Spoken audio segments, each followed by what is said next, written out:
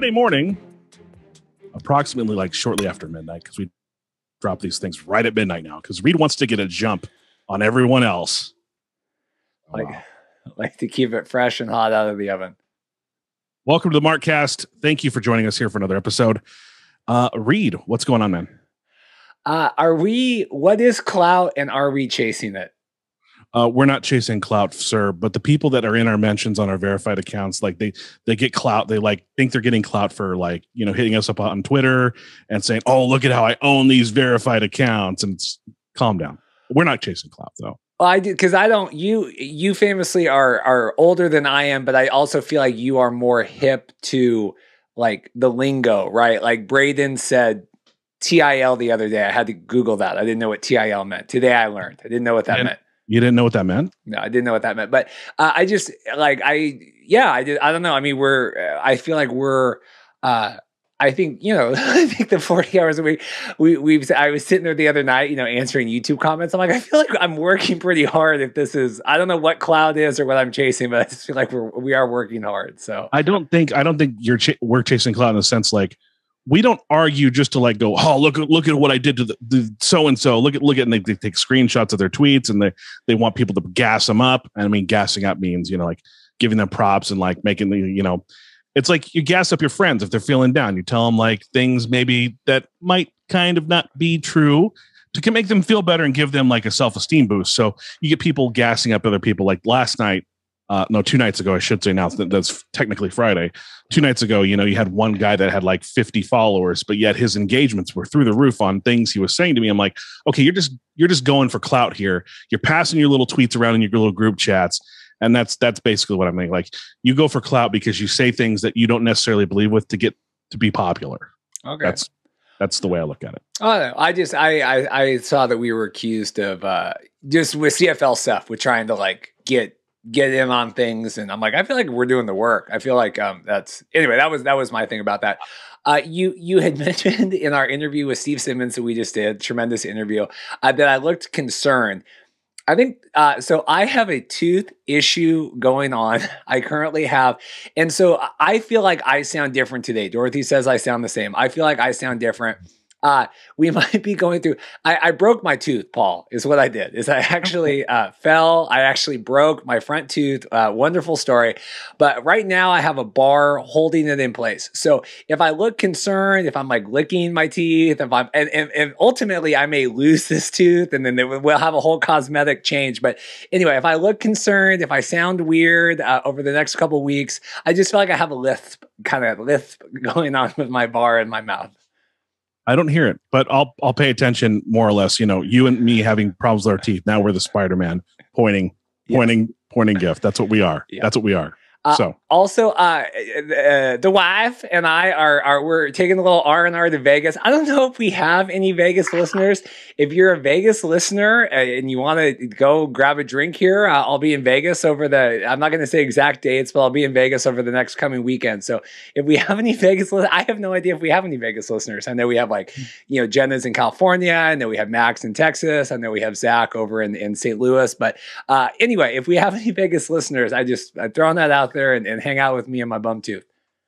And and your wife as well. Um, let's uh, let's also let's also hope for good vibes that the Vegas Golden Knights pull off a miracle and come back for for my sanity and you know because they're you know they're my second favorite team after the Devils, and of course Reed wants to attend a Stanley Cup final game, which would be really cool if you get to do that. I've done that before, so it's awesome. Are they playing tonight though as we record? Um, I think they're playing tonight. I, I think we'll know. So. we should know. Like maybe we'll this know. is all dated. Maybe yeah. at this point, you know, there's no. uh They're yeah, they're playing tonight, uh 5 p.m. Pacific time. Good, good vibes. So, good vibes rolling. Let's let's let's be optimistic. Be optimistic. A uh, couple other quick things, and then we'll plug all the stuff. Uh, we I set up we did this all and then I think you had to go out of town. I set up a whole offers page. If you're someone that likes to support the show, wants stuff, we have an Amazon link. You can buy your Amazon stuff, use our code. We get, you know, it's like a tip jar thing. Uh, we also have all the Manscaped links on there. We'll talk about and Paul's uh, uh, blow the the stress reliever. I can never pronounce it. It's a Kumoso. Kumos Kumoso. Kumoso. Kumoso. Uh, anyway, we have best made or uh, not best made. That's my website. Uh, wow. The markcast.com slash offers. We have all our offers on there, and there's like in you all the stuff you would normally get like on Amazon, all these things. But if you do it through there, we get. So if you want to support, you know, again, we we we don't plug our merch a lot. The markcast.com slash merch. You can get merch. I got I ha- I ordered a shirt that's coming because I realized I have a Manscaped shirt, but I don't have a Markcast shirt. So I, I I did order that, but Mm-hmm. Anyway, uh, you know, or leave a review, the markcast.com slash review. Uh, please subscribe. You know, uh, a lot of work today and, and, and, um, things that we're doing. But anyway, yeah, the markcast.com slash offers. I thought that was good. And we also have more uh, partnerships coming down the line that uh, that I'm that I'm working on currently setting up. A sports memorabilia shop is going to is going to come on and you know and and and provide some great discounts and some great signed and autographed merchandise and some collectibles. So we got a lot of things going on. If you want to support the show, please, please, please click those affiliate links. Order yourself a, a Manscaped uh, Lawnmower 4.0 or any of the other products. You know, of course, 20% off. Use the code uh, Markcast. Mar- uh, Markcast at uh, I got two different podcasts. I'm like, yeah. uh, it's like a it's like a competing battle in my brain. But of course, Markcast, the code to use 20% off at Manscaped. Yeah. Anyway, we don't. I don't like to. Like, I rather would just talk about my broken teeth at the top of the show, but I do think we need to plug everything every once in a while. Uh, good show today. We got all the big C two one eight stuff, all the player retirements, and then there's all this big XFL the players didn't get paid, bankruptcy stuff. I have we have everything coming up. Uh, Nic Sulsky, he is a chief uh, commercial officer at PointsBet Canada. A great interview. He's heading up. His phone was melting yesterday or two days ago. He said with all the single game sports betting and all the teams uh, reaching out. So uh, Nick's going to come on. Uh, Paul, what did you think of our chat with Hall of Famer Steve Simmons? It was really good. Um, um, you know, it was really. It was kind of like I like to think of like Arash Light, where he was, you know, he was kind of very critical in a, in a in a very um, non-dismissive way, if that makes sense. Like he's very critical of the XFL, which you know we, we're definitely people that accept criticism of the product that we started this whole this whole podcast following.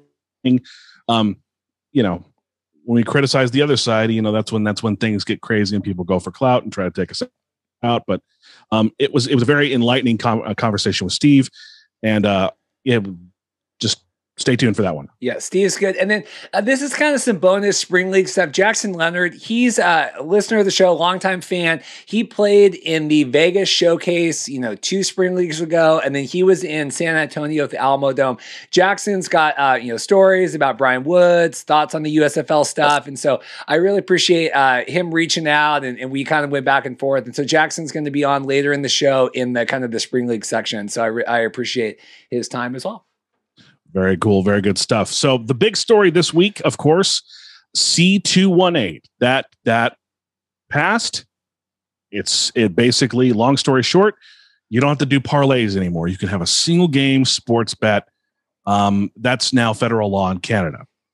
Yeah, it, the thing about it too is because uh, it was a private members bill, I guess it, very low odds of those ever passing. Um, Kevin Waugh, uh, he was kind of the, the signee on it. Uh, he he his quote that I had bolded here. He goes, "One general manager of a team and president said to me from the CFL, this is as big as television back in 1954. The magnitude of single sports betting in this country uh, can be dated back to the 50s, almost 60 plus years ago." So uh, you know, like which is uh, listener Max was funny because he messaged me and he goes, "Yeah, but uh, the, the remember how everyone complains about the TV deal for the CFL, but this is just as big." I'm like, "Yeah," because it's anyway. To me, um, we get in with it with Steve, we get in with, with, with Nick. Uh, it still feels. I, I I think if you are someone that bets, this is good you I don't think you are going to attract many people that don't bet already to watch the CFL. Paul, what are your thoughts? You gamble a lot more, not a lot more, but I mean you gamble more than I do on sports. Well, first and foremost, not gambling if you know you're going to win. Second of all, um, I think that there's been an increase like um, there was there's been a stigma attached to gambling. There's a stigma attached to anything that's illegal um, you know, across the board in the in in the United States like I won't get too political. I won't get like marijuana legislation, for example. You know, there there was a stigma attached to that, and now like you know, almost half the states have legal marijuana for um, for recreational use, and you know, more than half now have it for medical use. So basically, what it boils down to is like now that things are destigmatized, I think you've seen the growth of gambling in the United States, and maybe, maybe just maybe, that's what they're hoping for up there in Canada. Is that now there's now there's not a you know a stigma attached to it, and you're going to have uh, like Steve uh, came on and talked about. You know, you're going to have a DraftKings potential place in you know CFL stadiums to go uh, place a bet. And and maybe that's that's that's that'll help it. But i don't think that you know like you know there's no silver bullet that's that's going to solve this thing. It's it's got to be a, a, variety of things all at once. And it seems like there's just this one track oh this will fix it this will fix it as opposed to a variety of things like a football game from ea sports or something might you know help yeah. i don't know to me, the, the, big scary thing with this is, and Nick talks, uh, you know, this is going to be up to the provinces. It's going to be up to the teams. And so Nick and we get into it in the interview, but you know, certain teams have reached out, and that's where it gets scary to me because it's like, so then you're going to have like maybe Edmonton's really up on it, and they're going to be utilizing it, and it goes back to the same problems we've always had, right? Where some of the teams are more successful, some of the more populated teams aren't as successful. You know, the community-owned teams and whatever, and so it still feels um, you know, it still feels messy. And I, I asked Nick, I'm like, is this something where it, it, there's so much money involved that the CFL literally just needs to get out of the way and let all of these smart people and marketers do their job. And I kind of think that's what it is, right? Is it's like just CFL, like shut up and, and go, like just let us bet and let us run all these things. Cause, you know, like Nick with with points bets, you know, they they do this right? This is all they do. And so coming in and uh, i feel like they can you know they're ready to set up this infrastructure. Like they just needed the go ahead. But i do worry like i this just feels like a lot of heavy lifting to me for the cfl so. I completely agree with you all all there. Speaking of heavy lifting for the cfl nice little segue there. Uh, wow a lot of retirements going down. A lot of retirements happening right now. Um, notable names include like uh, Brad Sinopoli. Hopefully, I'm Sinopoli. pronouncing that correct. Um, and uh, Jalen Saunders, I guess, is is now not playing because of the car crash. Um, he was uh, Sinopoli on that note was uh, scheduled to earn 150,000 150,000 yeah. 160,000 160,000 in 2021 I got to get new glasses now. Um, and I guess uh, for him it wasn't really like a you know a lack of money. It was just like taking care of his health. I mean do you really want to you know we've we've we've heard so much about CTE coming out in the, the you know the most recent years about you know these these gladiators uh, essentially banging heads and you know causing issues later down in life is $160,000 really worth it you know taking care of his health was a priority yeah, it's a yeah. The, the Brad Sinopoli one was a big deal. You know, he was kind of one of the big uh, star receivers. It's interesting. You know, we had talked about Jalen a couple weeks ago. He was in that horrendous car accident. So it's like, I mean, the Redblacks people are like they're out for the season. I mean, they you know two of their star players are are down. Yeah, what's crazy to me is you know we talk about the low pay of the CFL players sometimes. Yeah, one hundred sixty thousand is nothing to sneeze at, and he had some signing bonuses and stuff, and so like. That's a sizable paycheck to walk away from. He's still going to be involved in the Redblacks, uh, like in the organization. What was really interesting, uh, the Riders defensive lineman Chad Geter retired. He's going to join the Air Force. But what was so interesting to me, he was on Rod Pedersen's show this week talking about how so many of these players, obviously we we know, okay, maybe they got jobs, you know, they've been off for 16 months, all these things. But the story that he told is when I'm living, you know, the six months out of the year, if I'm going up to play in the CFL, I'm still paying my mortgage in the States. A lot of these players, you know, still paying the mortgage right. in the States. Maybe you've got a wife and kids, maybe you've got a partner, whatever, you know, you're doing these things then you're also paying to live up in Canada, right? You got to get an apartment somewhere. Maybe you got to rent a car. You got to buy your groceries up there. And so he's like, you're almost you know playing two lives you're living two lives during this time period and then the money is so low anyway right for a lot of these guys and so you know that coupled with you know being off for 16 months you know getting other jobs and things just that idea of like well I, now i'm got to go like I couldn't imagine that. Like having that's why like I don't have a studio. You know, I work from home because I don't want to have like another mortgage on top of what I'm doing. That makes sense totally. Um, and we wish him the best of luck. He's joining, you know, he's joining the Air Force, and uh, we're we're we're happy that he's going to serve his country, um, and you know, defend our freedoms and you know, protect us. Another retirement. Uh, El- Edmonton Elks Derek Dennis is stepping away. Um, I guess you know that uh, football doesn't provide the opportunity. His quote is, uh, "Football no longer provides the opportunity to be able to care for his family properly, Uh, so in all facets. So for that reason, he'll not be playing in the upcoming season. Yeah, it's a big, you know, that that struck a lot of people that it's basically like, you know, the I mean, lack of a better word, you know, the money and everything isn't enough. You know, we talk, like I said, the Chad Geter story, you know, uh, playing up there, you know, everyone thinks, oh, you're this big football star. Well, it's a six month gig.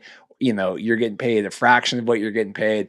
And yeah, I mean that that that's sad. Uh, I know that you know a lot of these guys are are fan favorites, and you know uh, there's been a lot of questions about like what are these teams going to look like uh, come this year, and and it is. I think people are going to be really shocked. You know the the players that are in the helmets and and you know, are you going to recognize a lot of these teams with a lot of these guys going? Taylor Loffler uh, retired as well. Uh, he was oh, he wasn't signed to a team right now. He was out on injury. There's a ton of like these are just some of the ones that I uh, organized together. I know there were a ton this week, and if your favorite player wasn't on there, I apologize. These were kind of the ones, especially the Brad Sinopoli one was was a big deal uh, in terms of like star mega star power with like a contract that walked away. Are you there, Paul? Sorry, I, my my brain froze for a second. Sorry about that. I zoned out. Um, yeah, a lot of retirements. Um, again, you know, we, we we've raised this concern before. Where we're like, huh, I wonder, you know, I wonder how many people are actually going to come back. I mean, the the pandemic probably prioritized a lot of things for a lot of players not making the kind of money that they make, you know, down here in the NFL, and you know that's that's another concern that we always bring up when it comes to the CFL stuff. Uh, speaking of more concerns, Saskatchewan Roughriders report a $7.5 million loss in uh, in 2020 and 2021 for uh, not playing last year. Uh, Roughriders president Craig Reynolds says it's our biggest financial loss we've ever had in the club's history. It's going to be a multi-year challenge, and that's another reason why uh, I think this is the biggest crisis we face because it will now really affect three years. And I think it's optimistic that it's just going to affect three years. But you know, what do you think, Reed? Yeah, it's it's interesting. Uh, the one thing about this is, you know, they had to refund some of their season ticket sales, but then they're carrying over the 10 million in ticket sales from last year to this year, and so that's also revenue you're not going to get right. And in the wedding industry, we dealt with this um, last summer where we had a lot of canceled weddings, right? Everyone moved their weddings to this year, and that was something I talked a lot about. I do my wedding podcast. Is we're basically living two years off of one season of revenue, right? And this is very much a lot of these CFL teams are going to be going through the same thing where any of that, you know, and the Roughriders aren't alone in this, right? I mean, this is just the, the most recent one that posted their losses, but carrying over a lot of these things, you're not getting that money this year as well now. And so uh, they had to go, they had, um, quite a quite a cash cow. I know like the Edmonton team has a cash kind of a cash reserve too, and they're really going to have to dig into that. And they said also that um, some of the other quotes in the article was uh, they got some wage subsidies from the government. You know, so they didn't get you know the CFL didn't get any of those big loans, but a lot of the teams got. Um, like PPP loan kind of like things to keep some of the some of their people, the staff and stuff involved. So very cool. Um, I'm not not very cool. It's it's unfortunate. I didn't know why. I know why I said very cool there. Um, good reporting, Reed. good cool. reporting, Reed. Way to be on it. Uh, Riders, uh, Riders head coach Craig Dickenson uh, predicts surprise cuts. Warns unprepared players are not going to last training camp, and uh, I guess his, uh, I guess his, um, his thought process is that they're not going to be in shape. Maybe yeah. Is that is that where is that where he's going with this? Yeah, they're, they're not, and you know, eh, this was kind of the big thing last week at the end of the. I think this I think this quote came out on Friday, but it kind of carried over to this week where you had a lot of people saying like, we'll just go go to the gym. I go to the gym. Can't you go? And it's like no, like to be to be in football shape is, is not to be in like oh I'm I'm in cardio shape. Like I went and we've talked about this before. You know, being in in like ring shape for WWE is very different than being in like okay I'm fit. You know, look at The Rock. Uh, famously, The Rock, you know, owner of the XFL, uh, when he trained to come back at WrestleMania in what was it Orlando and Miami against Cena. Mm-hmm. You know, he had you know, was in the best shape of his life. And he came out to the ring and like five minutes in, you know, he was totally gassed, couldn't, whatever. Well, it's these football guys, right? You know, you can, they're still working, they're still taking care of their family, and then they're trying to like stay in, you know, somewhat shape. But then to get back in football shape, that's a huge commitment. And it is. They're, they're saying that there's going to be a lot of these guys that either don't want to or aren't able or don't. But I don't think that that's a criticism, more of like, this is just a terrible situation that they're in, you know? And I mean, that's that that goes to like kind of like you know these these players had to find jobs over the last two years. And maybe they're also looking like man i was working you know i don't know i don't know the canadian work weeks. I know that we, they work us here 40 hours a week minimum in other countries. It's like you know 20 to 24 hours a week and you you have a you have a great uh living Work you know balance. great quality of life in in other countries. Um and i don't know if it's like a 40 hour a week thing up there in canada but you know all these players are probably looking at like i work 40 hours a week i don't really have time to take four or five hours and get in football shape that's also that's also probably why there's some concerns about a lot of these people not making it through training camp Yeah, and, and I don't blame the players. I blame the circumstances because it, Yeah, it's exactly. impossible. You know, it's not a it's not a criticism. I mean, it's it's literally impossible to work a forty hour week or whatever, and then also spend five hours a day at the gym. I mean, it's just not. So I don't. It's not like a criticism or a poo poo. It's like there's only so many hours in the day. You know. That's very true. Uh, Craig Dickenson also uh, kept talking about how um, This is great. I love this. They're winging it. They're winging they're it through. winging it, and he said uh, the closest parallel to what they're doing with the winging through the winging the season is uh, kind of like the lockout that wiped out the NHL season back in 2004 2005, and um, I guess uh, what what he's what he's talking about is like there was a whole complete no like one year hockey didn't get played and it cost NHL TV deals like ESPN didn't I, I I believe that's when the ESPN did not renew their deal with NHL and they had to take a lesser deal with NBC. Um, that's now been corrected because you know the NHL is starting to gain again in popularity. Um, but Dickenson said, I don't know any of these NHL coaches. They'd probably refuse my call if I called them. And um, You said that basically like the football stuff.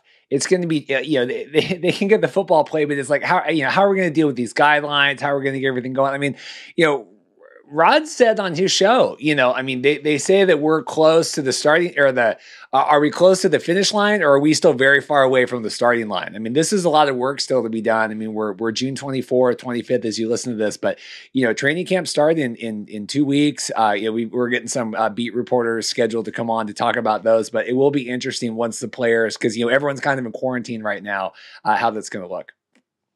uh, the big the big concern now for us traveling up for the Grey Cup, um, I'm pretty sure we'll get everything under control, Canada, before this happens. Uh, Justin Trudeau is resisting the pressure from businesses to open the U.S. border for summer. Of course, a lot of people love to go up to Canada in the summer. It's beautiful for those few weeks um, that you have a great, great, great summer. I'm not trying to disparage your lovely country, um, but uh, you know that uh, that basically the border chief announced an extension of the current current border rules that shut down the border uh, until at least July 21st. Reed, did you have any plans to go to Canada this year, or just Well, we're going to we're trying to go to BC here in the middle of October. So I mean, we still got a little bit away, but uh, yeah, I mean, uh, obviously those players going up are going to get you know exemption, quarantining, whatever things. But uh, yeah, uh, they're they're still. Uh, we, we were the problem for a long time. The U.S. was the problem for a long time, and no one wanted They- us to come. they shut down their border to us, and now they've kept their border shut down to keep them out of here? It's it's it's interesting how it's flipped. I, you know, I do still think like I still believe in the exemption thing. Like I've had my second vaccine for how many months now?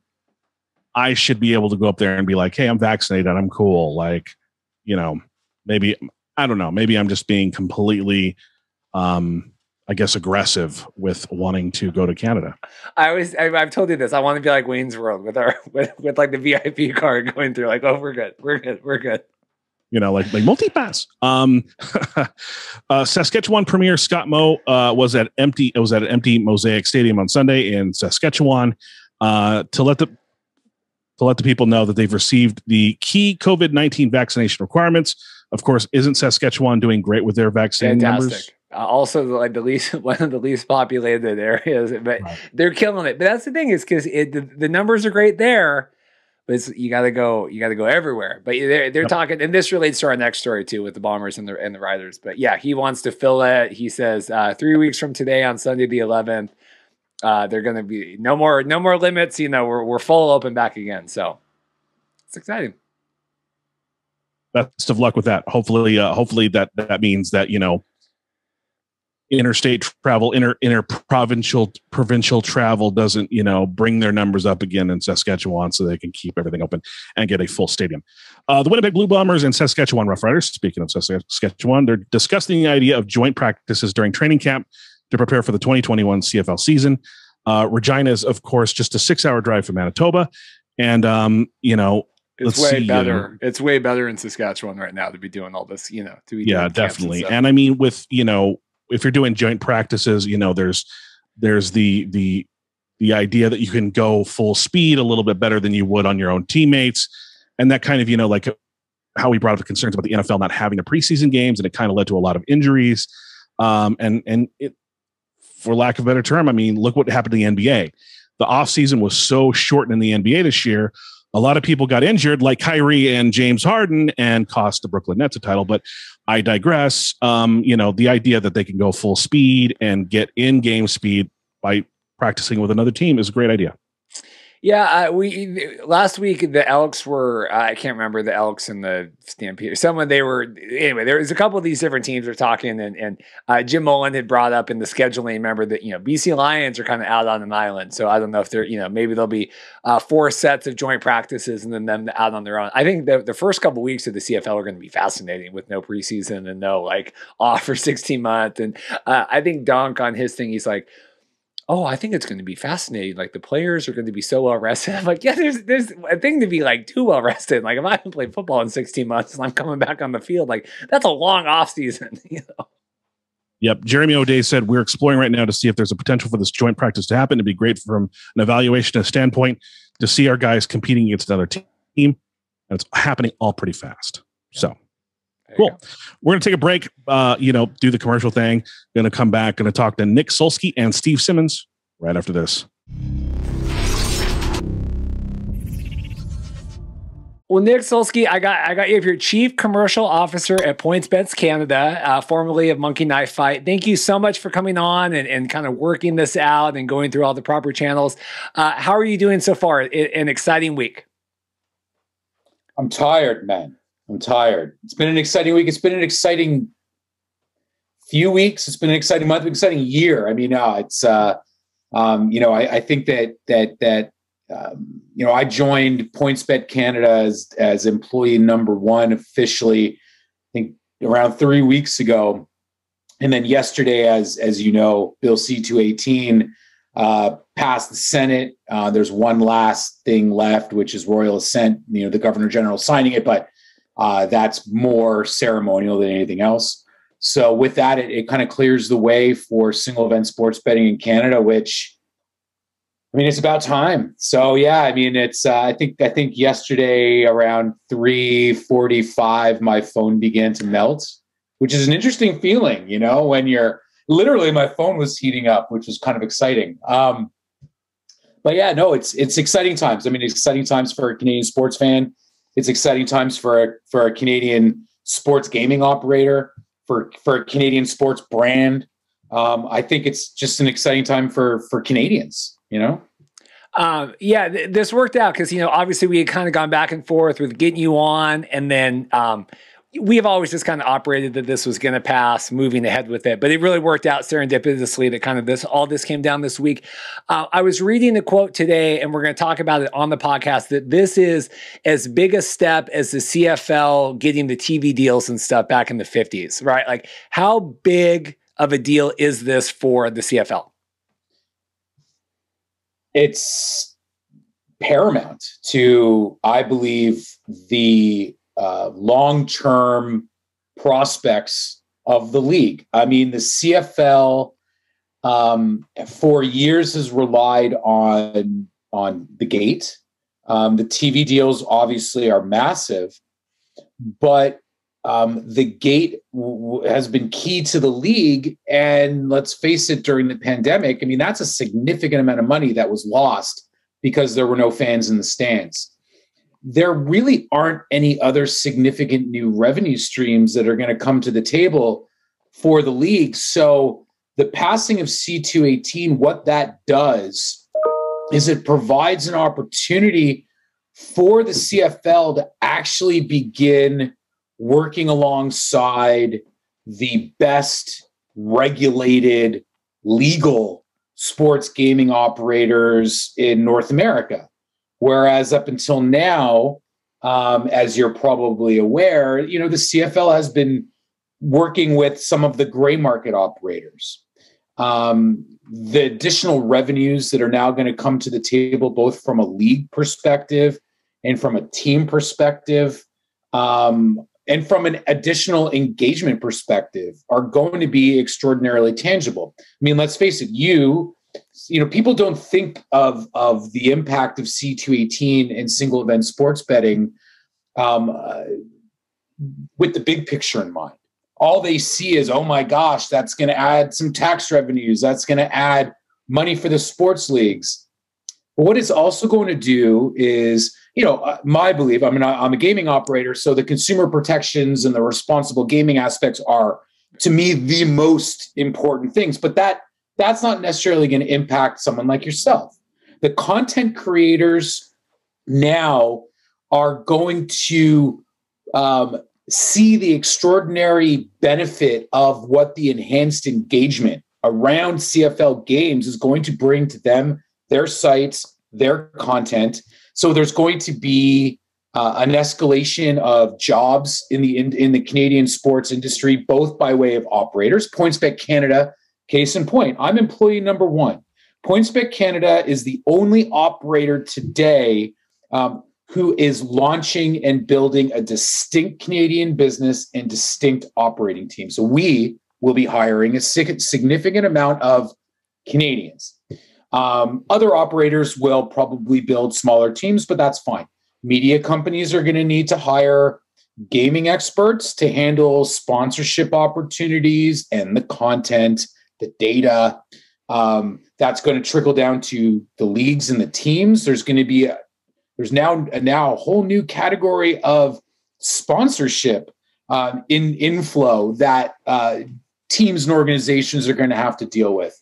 And then from a content perspective, hey, sports gambling content is going to be prominent as it should be. You want to educate the consumer on how to bet responsibly you want to educate the consumer on on on how to bet um, you know uh, confidently.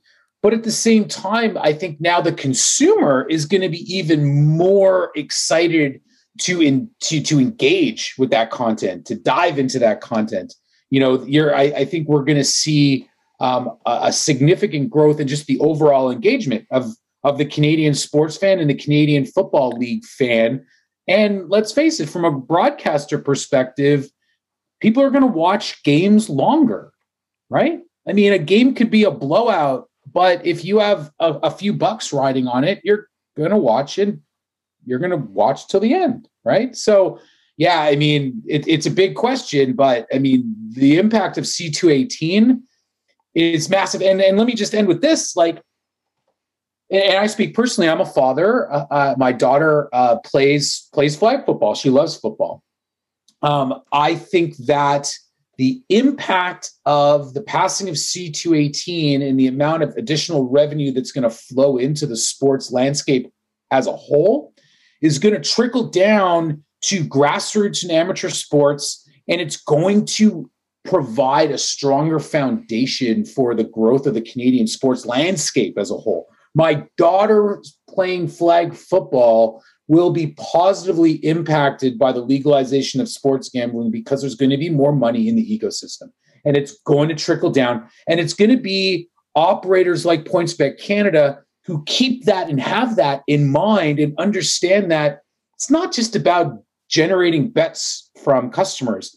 It's about building a better holistic experience for the sports fan um, and that's really what I think. Uh, that's what well, that's what excites me. Sorry, I, I talk no, a lot. That's good. a good question, man.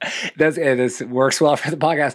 Uh, the biggest uh, concern for us and, and, my co-host Paul, too, I'll echo. You know, and and this is people have told us this, right? You know, we come into covering the CFL stuff, and people have said, you know, uh, the league struggles to know how to market, right? For the last couple decades, you know, they, they've really fallen behind where, you know, the NFL, NHL, a lot of these other major leagues. But then the same people that are telling us that now are saying, man, when it comes to sports betting, you know, the CFL, the marketing potential is just out the roof, right? And so I'm like, well, how are those you know this this league that maybe is more of a dinosaur is it one of those things where this is so big that the CFL almost just needs to get out of the way and everybody else that's smarter around them can run this stuff? You know what i mean? Like you guys can handle it? Like how does that i just that's where we struggle with with the mindset around this. I mean it, it, it's a really good question. And you know i think that um i will say that the cfl has been spending a lot of time thinking about the reality of C218.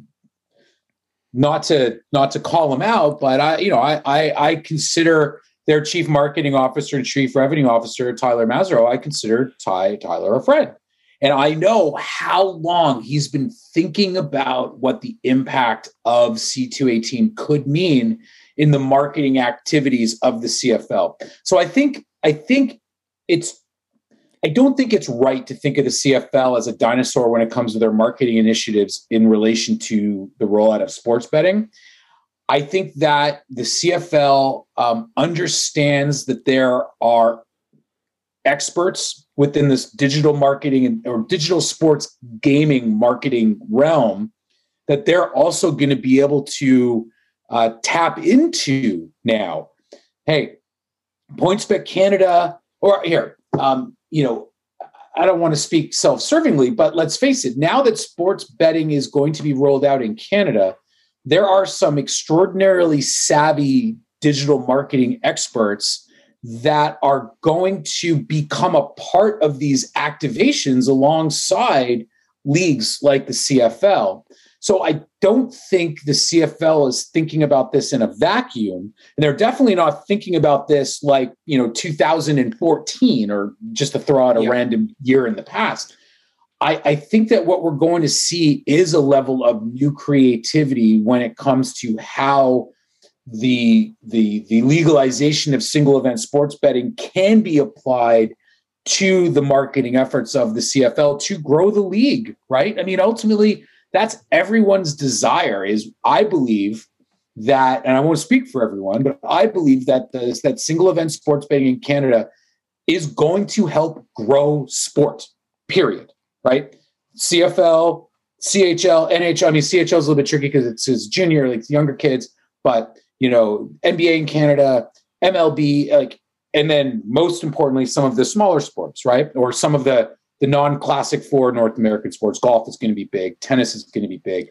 You know, there's a bunch of massive opportunities I think that are going to strike the Canadian market. But when it comes to the Canadian Football League specifically, I think that they are going to be able to bring to the table a unique um, integration of what sports betting and their brand, uh, you know, will will will will you know bring together to the market. So yeah i don't think we can uh, assume that the uh, you know their former marketing tactics are going to be applied in the future.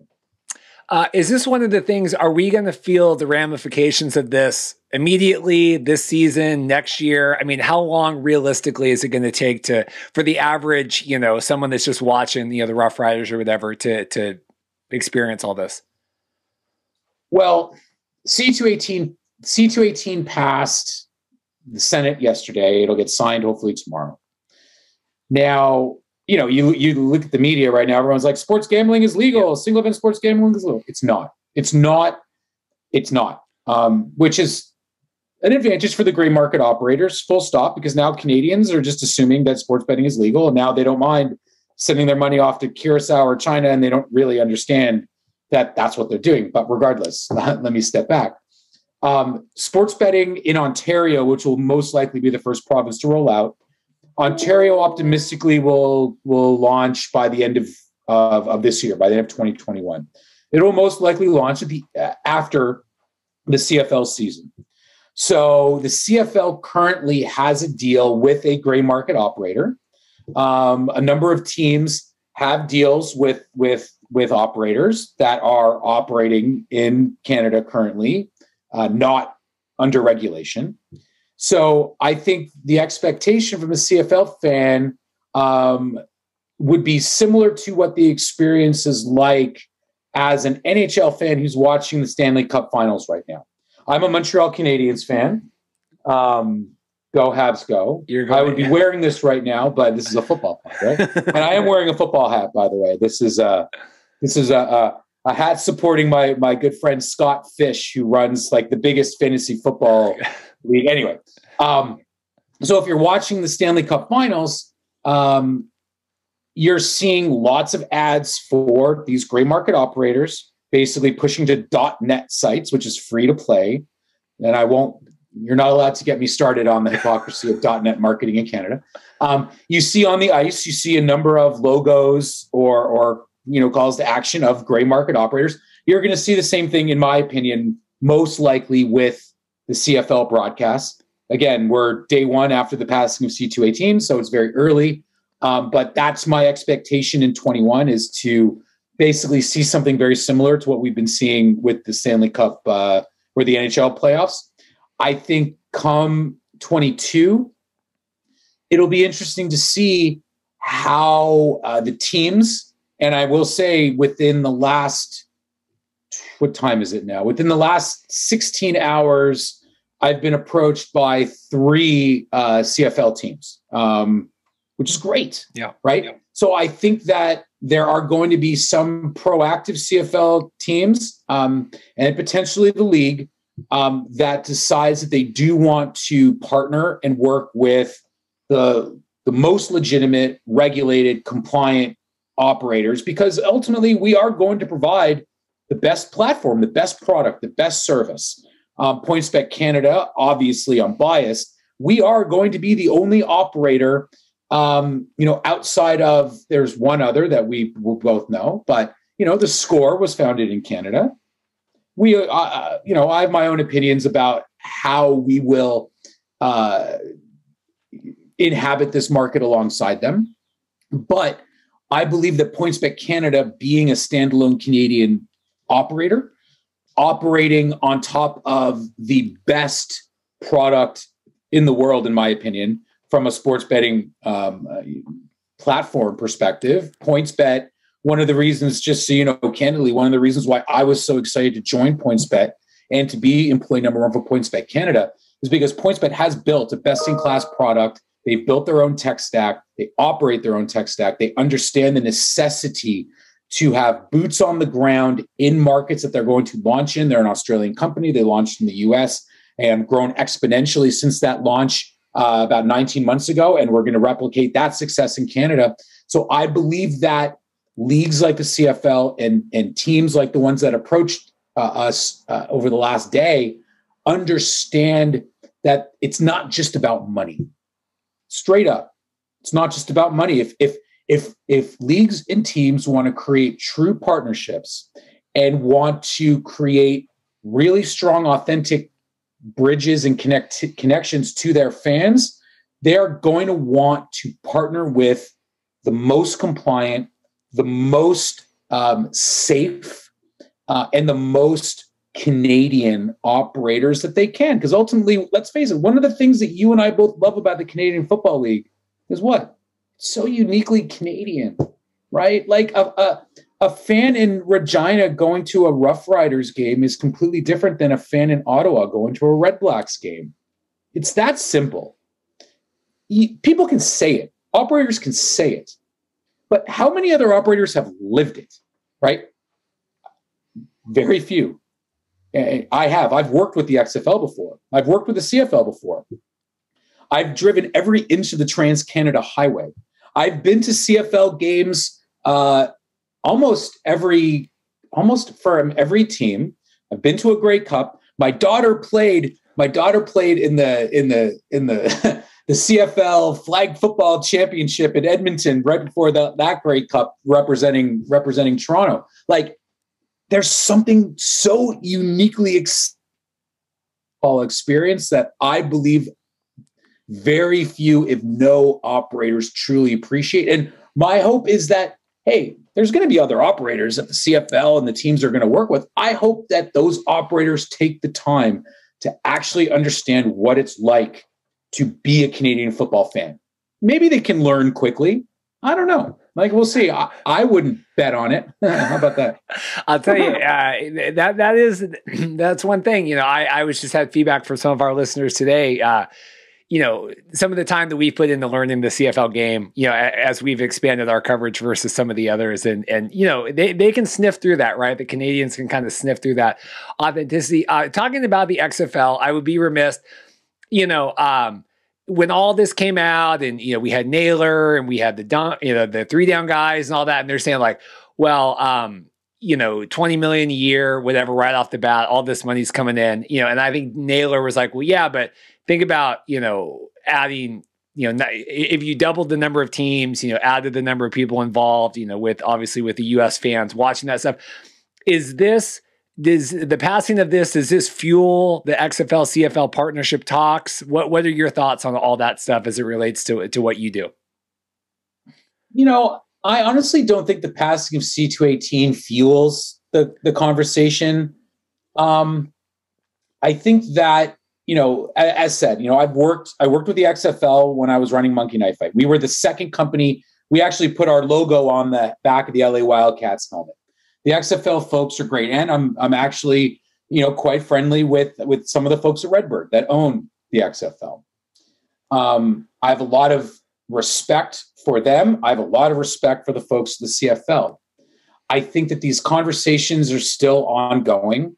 I think that there is a potential exciting opportunity as a merger. I also think there's an exciting opportunity for each league to exist independently of one another. I think C218, what that does from a CFL perspective is I think it gives them, um, in the short term, a bit of a, a you know, a bit of a, a, boost, right? It's kind of like if you watch Fast and Furious movies, it's like the, you know, hitting that NOS button. You know what I mean? I think it's going to spark up uh, you know, I think it's going to be great for them coming back this year. Um, the reality is the real, I think the real opportunities around C218 and single event sports betting will come to the CFL next year.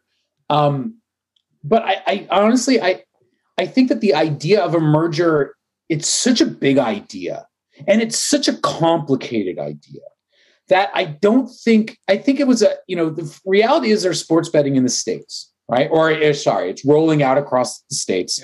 Um, and by the time a merger would happen, the assumption is it would have rolled out across, it's going to roll out across more US states. And I think even while the conversations with the XFL and the CFL uh, were, were beginning, the idea of sports betting in Canada was something that was a matter of when, not if.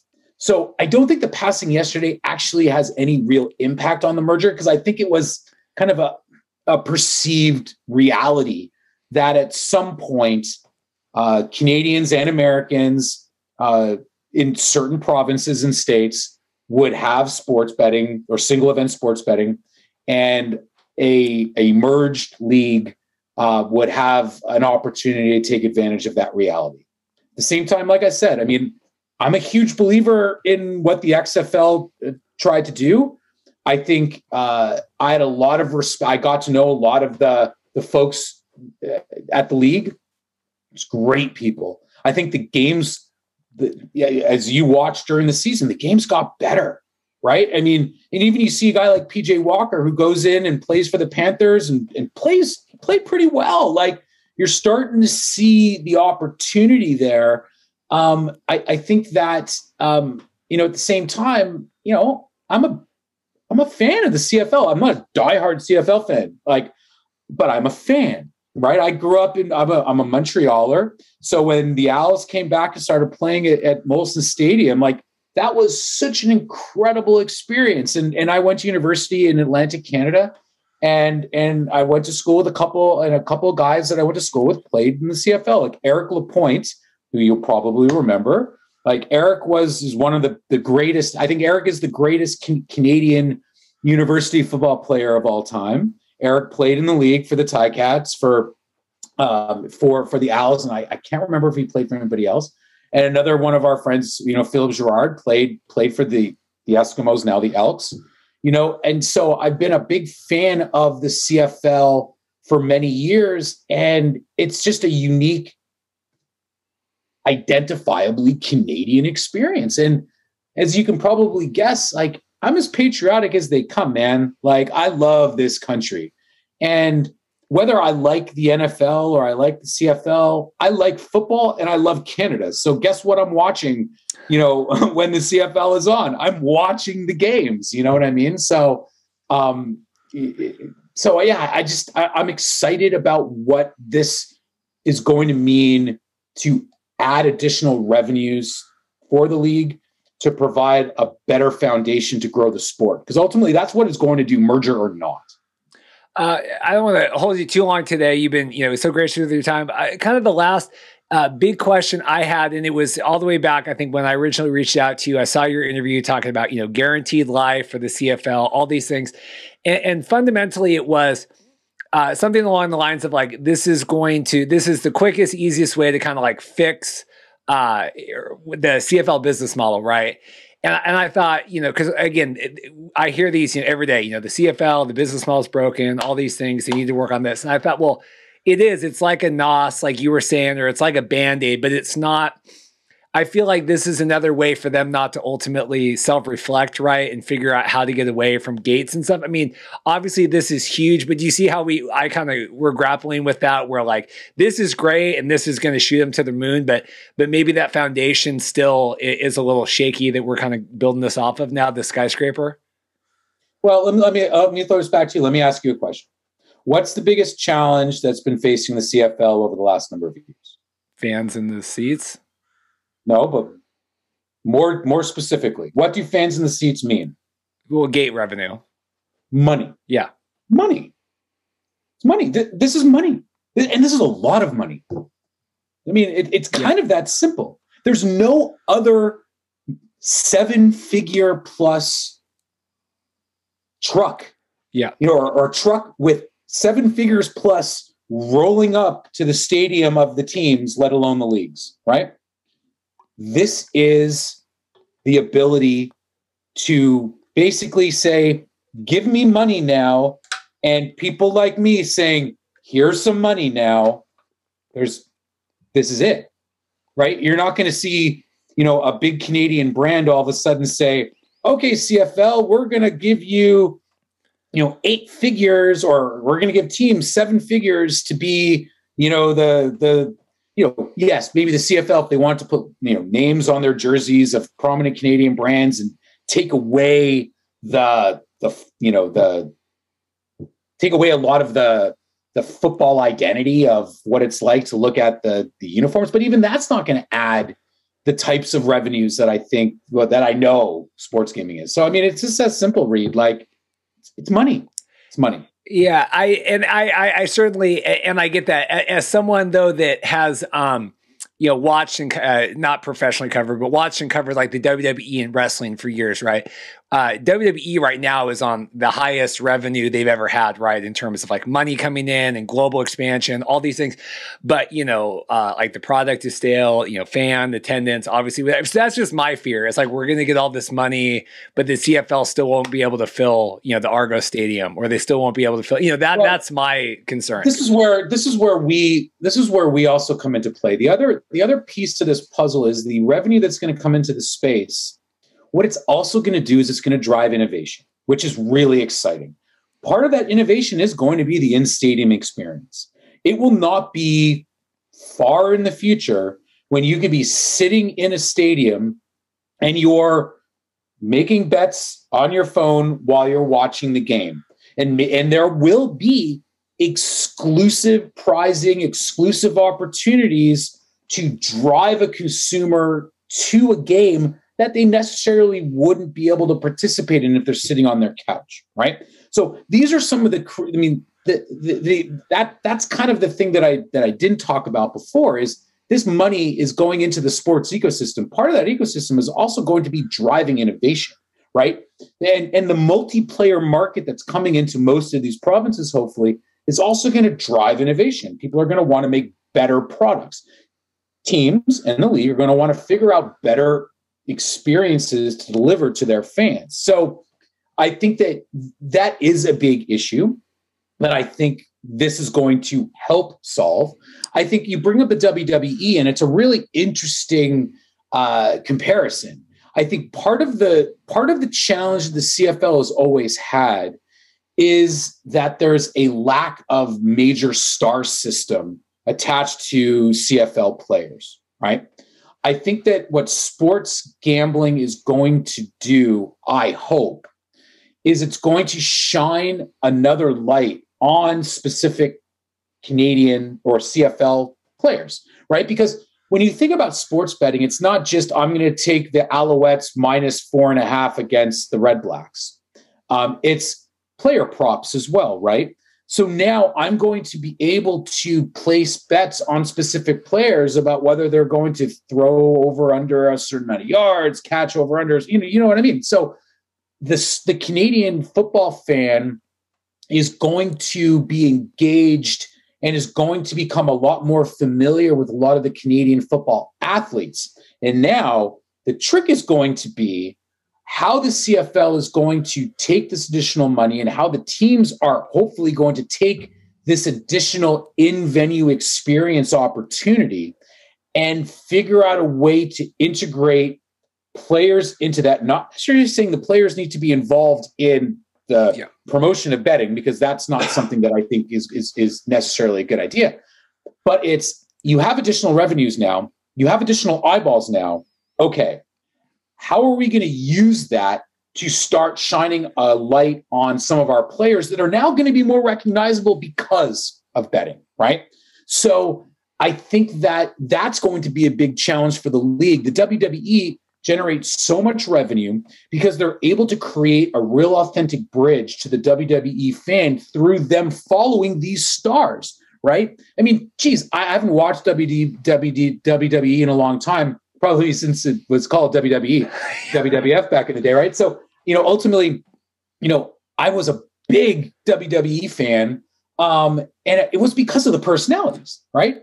Um, you know, I, I remember being I remember in the heyday of when I was a kid, you know, or when I was really into it, when it was like, you know, The Rock, Stone Cold, Triple H, during that whole dynamic, it was just so much fun. Um, you know, and I've I've disengaged, but ultimately the next generation of WWE fans, they're attached to the stars, right? They like the Roman Reignses of the world and the Luke Bryans, and I apologize if I'm missing these names, but, okay. but whatever. I, I, know that they've yeah. been around at some point recently. Um, and so I do think that that's where if I were the CFL, if I were the teams, I'd try and figure out a way to get my players into the limelight a little bit more because to me that's also let's face it that's also how you um, produce some extra revenue streams. That's how you know you get young fans even more engaged when they have folks when they have players to look up to. So that would be my you know if i if i if i was you know um if i was tasked with uh, how to utilize c218 it's not just money. It's we have additional money now. Okay how are we going to use it? Oh i think we should figure out unique ways to harness the extra engagement that sports betting is going to provide the CFL, both in venue and at home and through broadcast. Um, harness that new engagement, take the additional money, and then figure out what that means and how to shine a light on the players to help bring them into the limelight a little bit more. Does that make sense? It is. And I hope that uh, someone is listening and I hope that someone, yes, because that's the thing is, uh, and, and, I'll let you go here. You've been so gracious with your time is, you know, you all, we can have all the money, all the smart, everyone else in the world, right? All you, everyone else surrounding the CFL, all this different stuff.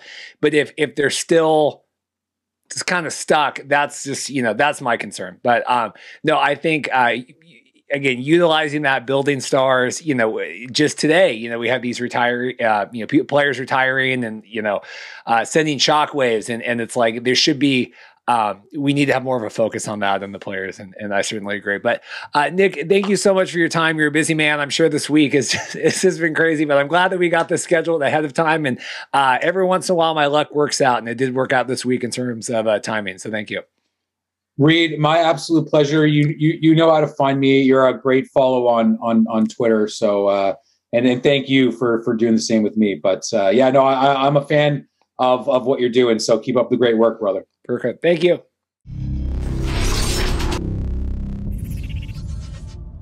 Support for the Markcast brought to you by Manscaped. They're the best in below the waist grooming for men and women. You know the, the razor's nice and soft. You can you can use it too, ladies. Uh, they offer precision precision precision. If I could get that out, precision. I, am going to stop trying to say that word.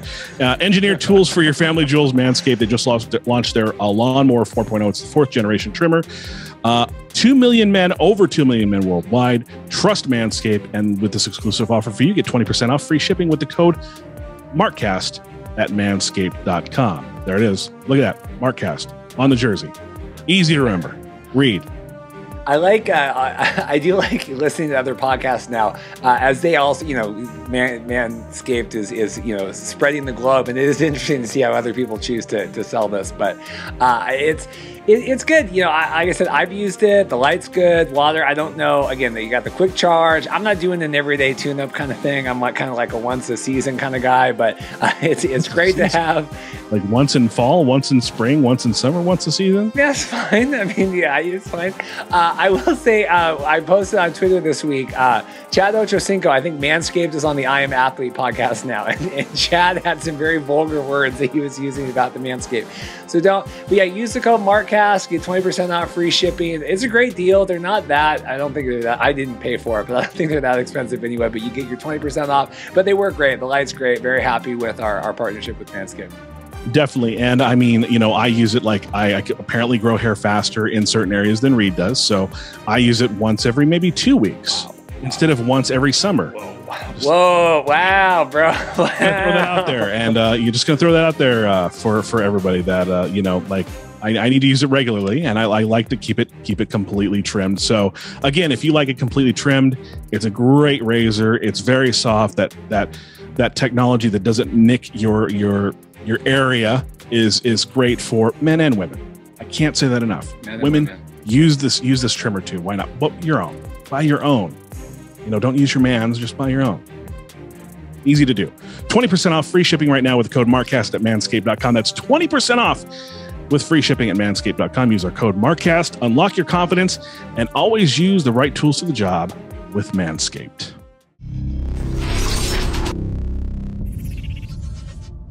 Steve Simmons from the Toronto Sun, also a CFL Hall of Fame press member back in 2009. Congrats on that. Welcome to the show, Steve. Nice to be here, guys. Good to have you. We love having our Canadian, uh, you know, press members on. You know, people that are really tuned in to the CFL uh, to kind of educate us along the way. So we're glad to have you. Um, let's start with the first things first. The big news that came out this week: uh, C two one eight. How does that help? Well, I think it will help in terms of advertising revenue for the teams involved.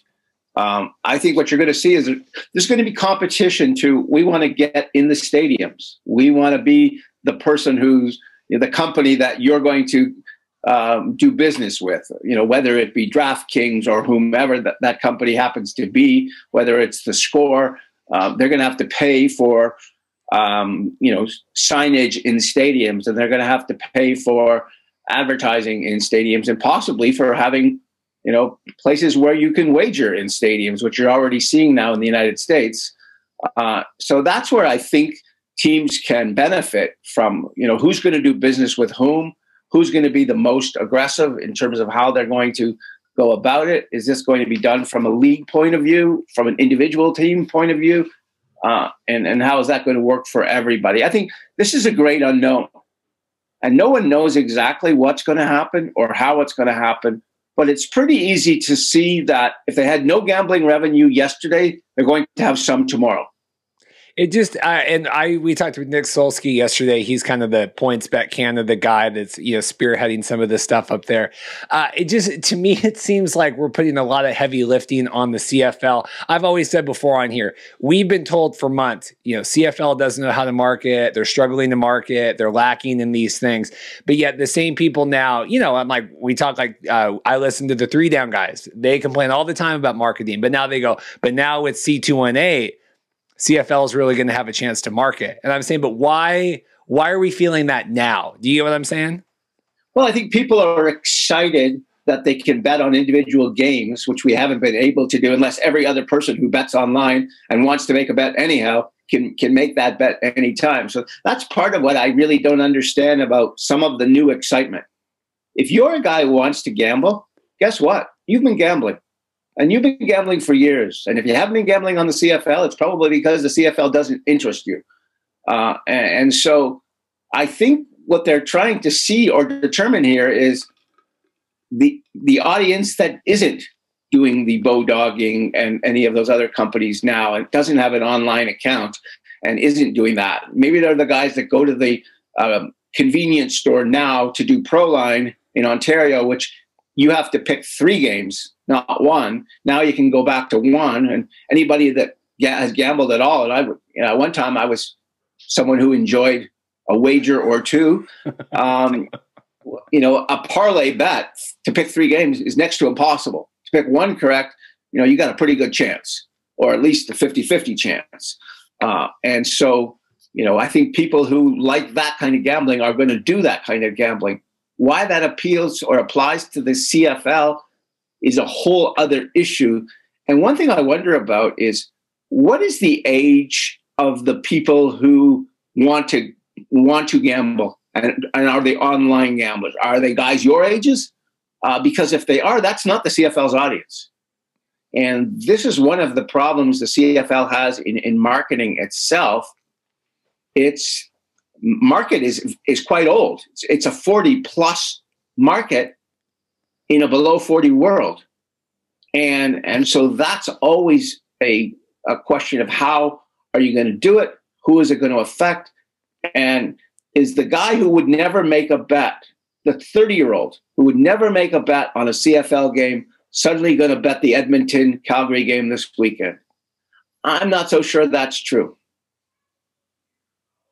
You're taking the words right out of my mouth. You really are taking the words right out of my mouth. It seems like single game game betting is a young man's sport, and right now we've all voiced our concerns, and by we I mean people that have come on the show and have voiced their concerns that people 35 and under don't really pay attention to the CFL, and those that do very few and far between.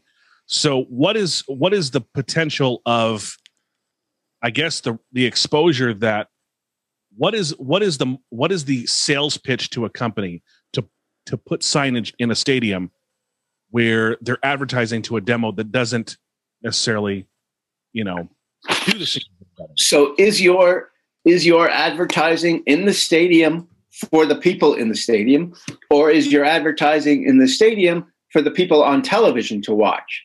And that's where the CFL gets interesting because I'll use Toronto as an example because it's probably the worst example of, of, the worst run franchise in the league.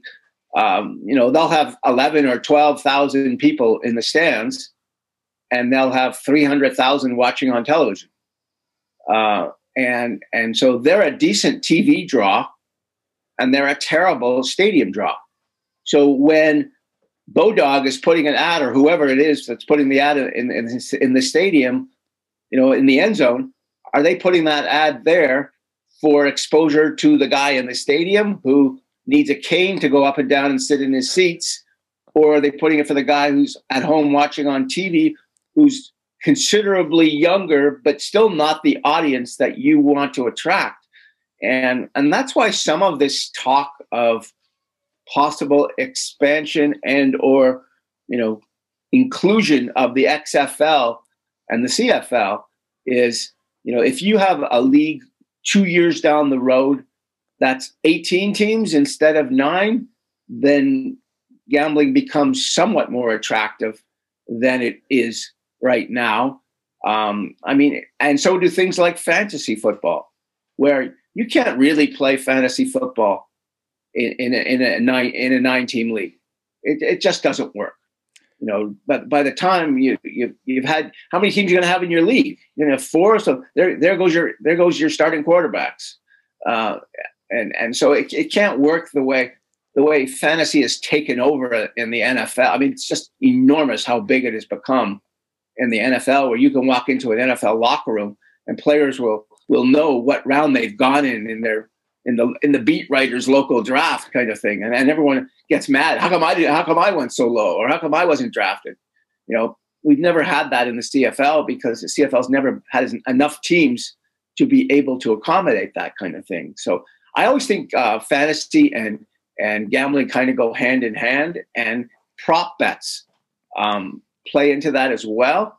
And I just wonder how all that's going to work with an older CFL audience, and and who knows who's watching on TV. Yeah, it's just hard because um, even uh, Nic, like I said, Nic was uh, PointsBet. You know, you are able to bet on these games right now in these gray markets, right? Or and it's not you know the legit team sponsored, league sponsored things. But uh, you know, like we go back to fantasy, you know, if you go to TSN or whatever to do fantasy, right, it redirects you to ESPN, right? I mean, they don't even do that, right? And and Nic had said that um, since you know the C two one eight passed, that I think three of the teams so far had reached out to him, right, to try to figure out stuff to do. And so, you know, when when the CFL, the way it's run with these nine independent whatevers, you're you're really placing a lot on each of these teams to be like, okay, are the Roughriders really going to get involved in this, right? It's and, and where it's i think it's going to be separate all in the provinces too right? Where everyone there's just a lot of like everyone's going to all have to do their thing. Well here's the thing. This is a great point of confusion now in professional sport. It's not just the cfl although the cfl is kind of late to this because the bill was just passed but all of pro sport over the last few years has tried to figure out how can we make money on gambling and how can we cut ourselves in if there's so much of it going on? How do we get a piece of the action? And now you're seeing in the us where i'll use the washington capitals and the washington wizards as an example. In their arena for next season you'll be able to go and and and place bets. And it's almost like they're going to have a sports book right in the arena. So instead of being in vegas where you sit and watch 12 television sets you'll probably be able to sit down in washington and have a drink and watch the game you're at and probably four or five other games all at the same time, you know, like you're in a casino or a sports book in, in Vegas. And I think what's happening in not just the NHL and the NBA, but you know, the CFL obviously needs external sources of revenue, much more so than the other leagues because it doesn't have the television contracts and the and the you know the paid for sponsorships that the other professional leagues have. And so it needs, you know, historically it's gate driven. And, you know, they make their money or lose their money selling tickets. Now this is a possibility. And I, I, I emphasize the word possibility. So yeah, everyone's reaching out to the Nic Sulskis of the world and everyone's reaching out to anyone that knows anything about this because guess what? They don't know anything about it. And they're just trying to figure out how do I make a buck? And how do I make a buck on this? And what's the buck going to be? And who's going to pay for it? what's like if I if I'm uh, maybe I'm the Hamilton Tiger Cats and I sell the rights in my stadium to the Ontario Lottery Corporation.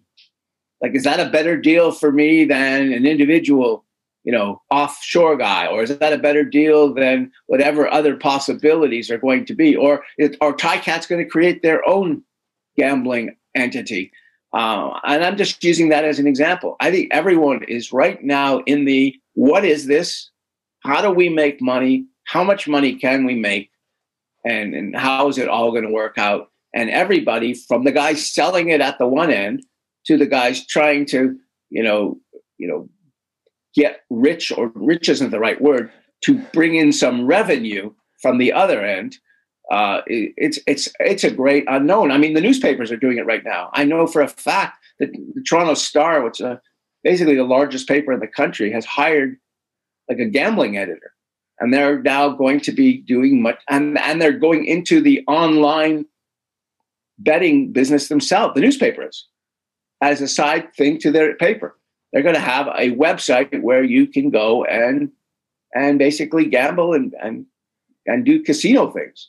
Uh, I know we're the the Sun Chain is looking at, you know, what's next and how is it going to work. You know, everybody's trying to figure out what the answer is, and at this point, no one really knows. Is there any concern or any um, support systems put in place? And I hate to be kind of the Debbie Downer here, but gambling can be a, very addictive thing to do. Are there any support systems being put in place or considered to be put in place to kind of help people if they're having a problem? Well, here's the problem with what you're asking for of whoever the you know whether it's the CFL or the NFL or the NBA or, or whatever. The people who are going to gamble and need to gamble are going to gamble, whether it's legal, whether it's illegal. Um, they're going to have you're going to have your problems just as you have your problems in society with other addictions and uh, and other problems. And I'm not sure it's the responsibility of the CFLs of the world and of any league really to be policing, you know, possible addiction issues under those circumstances. Because I, I'm a, I mean, I grew up in a house with addiction, so I'm pretty well versed on how powerful it is and how terrible it can be. Uh, and and to be honest, I'm not so sure that any external force of any kind could have helped my brother. And, and so maybe my view of things is skewed somewhat through my own personal experiences, but I'm not sure it's, it's their responsibility. And as he told me once, the only way I can get better is if I want to get better. And he never wanted to get better, and he never did. I'm I'm terribly sorry to hear that. Um, I didn't mean to. I didn't bring the, mean to be. The, no, I mean, I, I, this is a long time now, so I'm not talking about anything that's new. Um, no, I guess I'm just like saying, like when when you go to Vegas, you see these uh, these ads, and they're like, if you have a gambling problem, call these help numbers.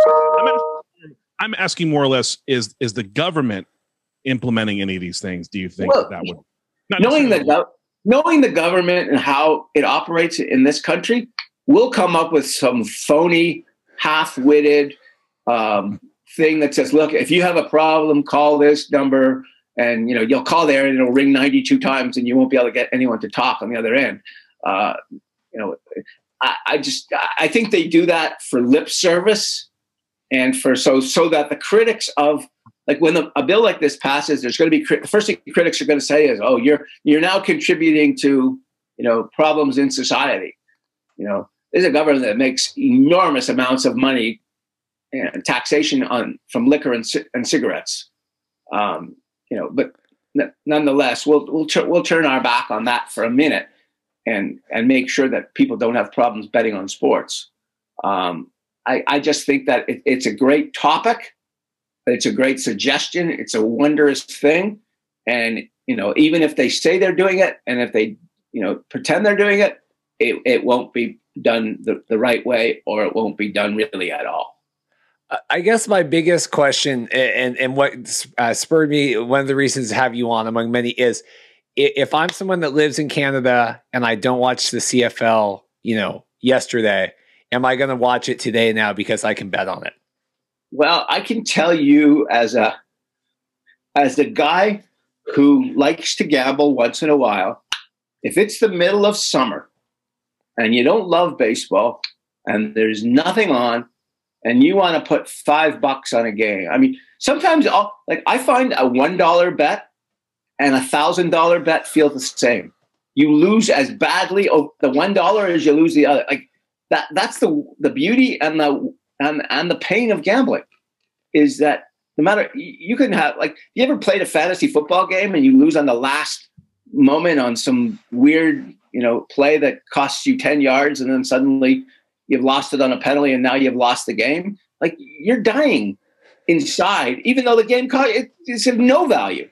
So I think what might happen is that the guy who doesn't care in the middle of summer, maybe even in the US, might put on a football game and say, you know what?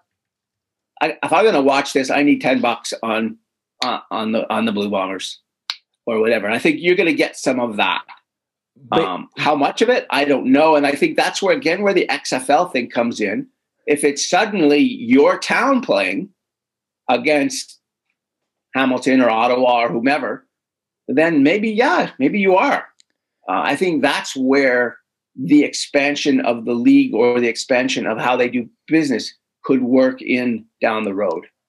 Uh, but again, to me, this is still assuming that someone is predisposed to want to gamble, right? That just the the casual football fan, who I think that the CFL needs to attract more of, you know, because this is like a subsection of a subsection, right? So if I'm someone, you know, I cover like I've never Paul and I we famously bet one time in Vegas on the and I don't know I don't I never bet on anything right in terms of uh, sports. So that's my question is yeah if you're if you want to gamble okay I'll gamble on the CFL but I'm just someone that you know I just don't think that you're opening the door to these you know 20 million more people that it wasn't open to yesterday because you can gamble now.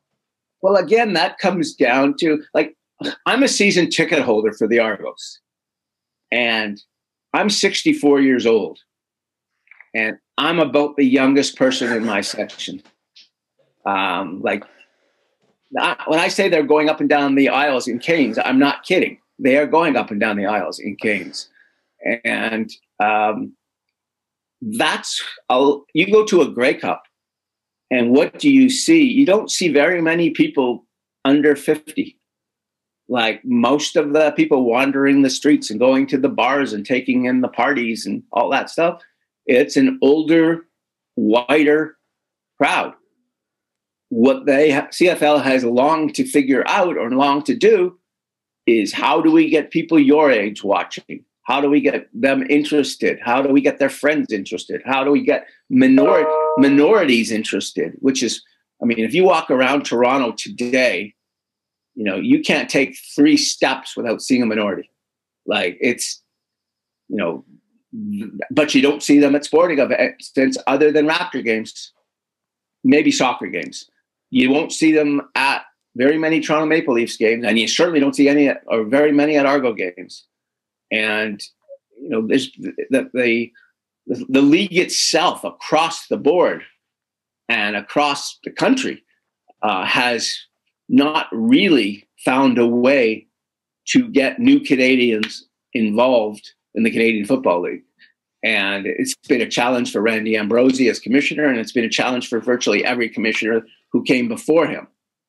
And one of the things, I, I'm going to make a terrible analogy of sorts here that probably will get me in trouble somewhere in the world. But if I walk into Casino Niagara which is about an hour and a half from where I live, or Casino Rama, which is about an hour, hour and a half from where I live in the other direction, then I will be a minority as a white person in that casino. And often uh, the majority will be some kind of Asians. They're gambling. They're gambling a lot. Um, are they watching football? Are they betting on football? Are they watching CFL? Um, how do you get them into CFL? How do you get their dollars to come out of those casinos and into CFL stadiums and even CFL betting? And that's challenges for the people involved to, you know, to get to groups that clearly have shown an interest in gambling and not necessarily in football.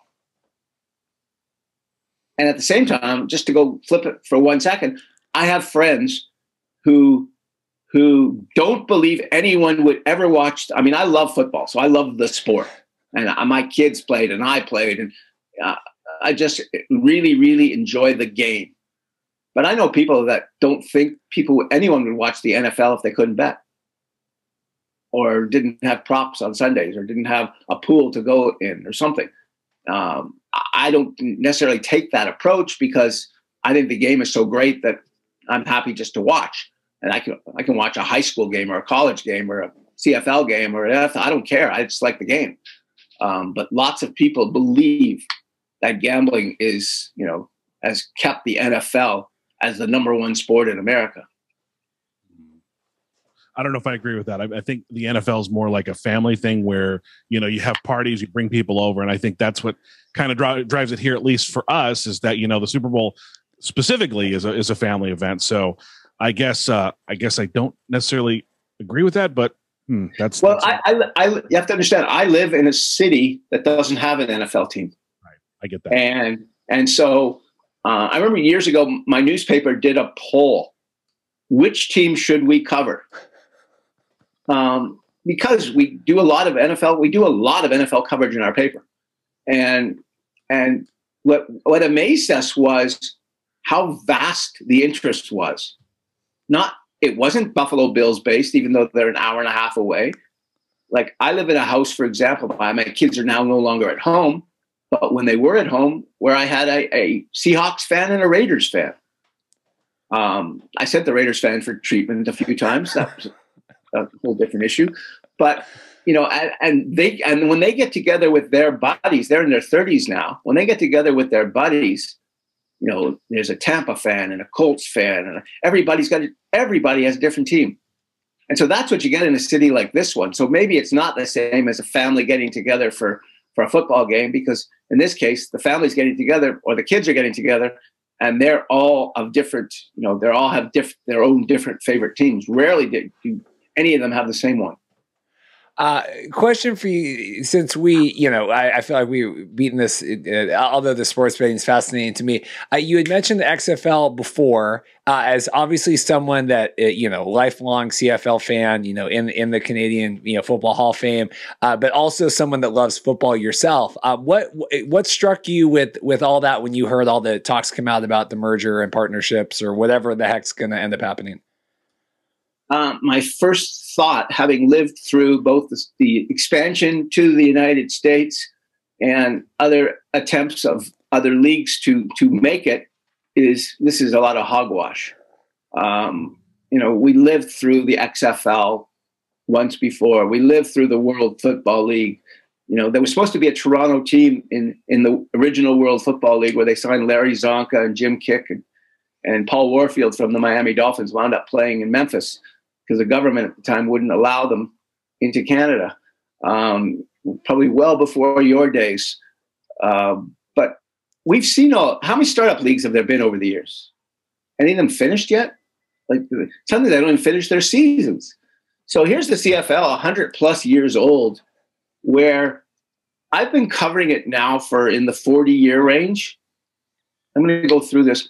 I covered the bankruptcy of the Calgary Stampeders, the bankruptcy of the Saskatchewan Roughriders, the bankruptcy of the Argos, the bankruptcy of the Ticats, the bankruptcy of various teams in Ottawa. So that's five of think of nine teams that went bankrupt, uh, and the league the league still exists. It's like it's like you know it's like the you know it's like bugs around your outside your house. You know you you you think you've killed them, and the, the next day they're back again. And that's the CFL. You know, it can't go away. But I'm not so sure why you're going to want to do business with, for lack of a better word, a fly by nighter, um, unless there's something extremely attractive financially for you. Because otherwise, you know, you've got a league, you've been in business. You know, the other guys have been in business four and a half weeks or whatever it's been. I mean, the, the current owners with The Rock and everybody else, well, they haven't played anything yet. They haven't, they haven't had a season yet. They don't even have franchises. They have coaches. I don't think they have anything. So what do they have? They have The Rock and some other, you know, some other rich people that you know want to do something with with with their money. But you know, I understand Randy Ambrosie listening. I just don't believe necessarily, and, and I'm I'm more in the minority when it comes to guys who've been around the league I just don't believe anything of of, sub, of substance will happen here. Okay, so let me point out some some I think some some discrepancies here. The the first thing first, I want to get this out here because I didn't have a chance to do it with uh, our friend Arash that came on and and kind of said what you said, but very in a very like condescending tone. So I, you know, we kind of appreciate the soft way you've delivered your message here. Um, the arena football, first and foremost, that that had a good twenty year run. Uh, second of all, I think the difference between the two leagues is that the Canadian Football League has owners of indi- individual franchises where one franchise can declare bankruptcy and it doesn't sink the entire league, where the XFL hasn't had that, where different owners own different teams. So I think that's the that's the difference here between these two leagues that we're we're we're kind of neglecting here. Well, I just uh, here's what I don't understand. If you speak one language and I speak another language, we're going to have trouble communicating. If I play three down football and you play four down football, I've got a problem. If you play a 100 yard football and I play a 110 yard football with a 25 yard end zone or a 20 yard end zone, we have things to talk about. There, there are so many little things.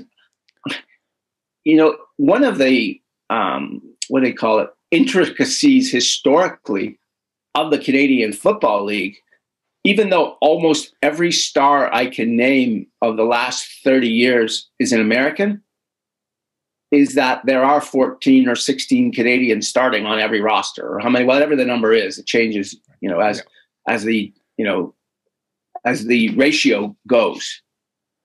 But you can't now tell an American team you have to have, as they did when they expanded uh, to Baltimore and other places, that you can't, that you need to have Canadians. Uh, first of all, it's against the law, I think, in the United States. Um, that you have to have this many Canadians on your roster. So, so you're looking at changing the premise or everything that's been the Canadian Football League. Uh, and there's lots to like about it, and frankly, there's lots not to like. Um, you know, like with any league, the the difference being is, you know, all the rest of pro sports as we know it is ostensibly succeeding, even with pen, even in the pandemic. You know, you know, the NHL is a go and the NBA is a go and Major League Soccer is a go. And all these leagues are, the CFL is now walking on eggshell. I mean, it always does walk on eggshells, but it's a different kind of eggshells now because so many things are happening, including in the last couple of days, the retirement of some pretty prominent Canadian players. Um, who obviously, I think what happened is, is they found jobs or discovered their professions in the pandemic and realized that you know it's probably beneficial to them not like uh, it's not like you play in the NFL you're last guy in the roster you're making 500 grand you know if you're the last guy in the roster you're making you know 62 grand or whatever the number happens to be.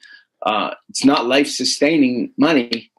Uh, and, and, so guys i think you're going to see more and more canadians saying you know what? I got a job. It's a pretty good one. I think rather than bash my head in for that extra kind of money, I'm going to stay here. So, you know, there are so many issues the CFL has to fix on its own that I'm not sure bringing in partners, unless there's a big number to be made money wise, bringing in partners makes a whole lot of sense. And I've never had anybody explain it to me. Not the commissioner, not any of his underlings, not the advocates who believe in it.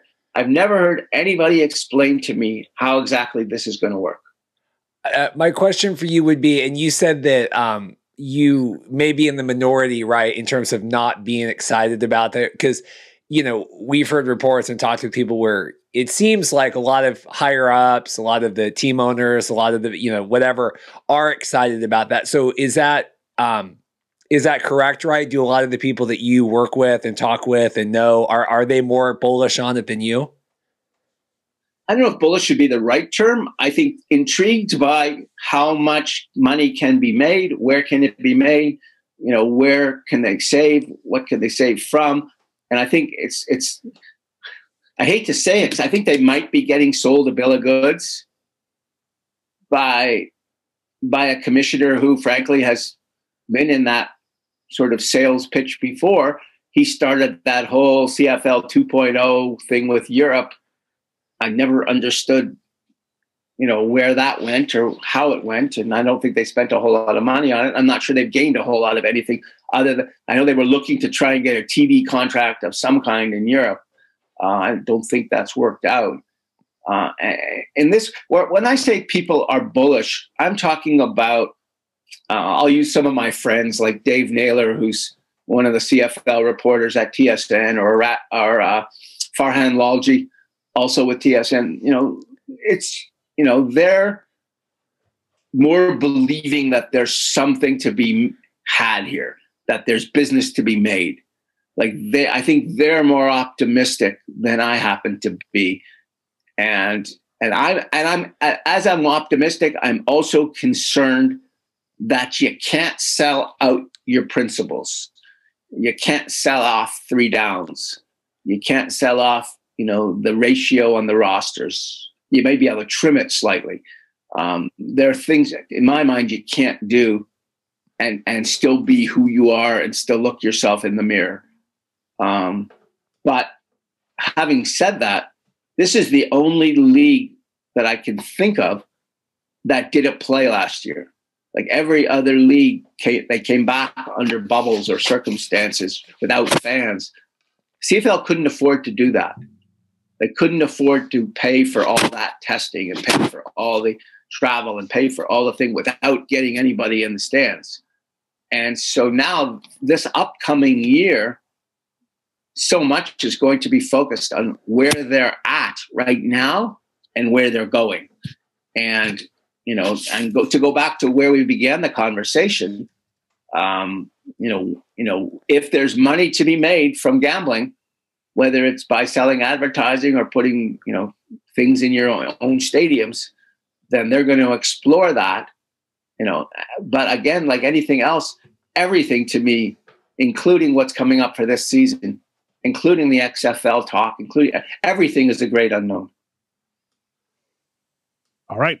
Steve Simmons, we want to thank you for your time from the Toronto Sun, of course, CFL Hall of Fame press member in 2019. We Want to thank you for your time joining us here on the Markcast.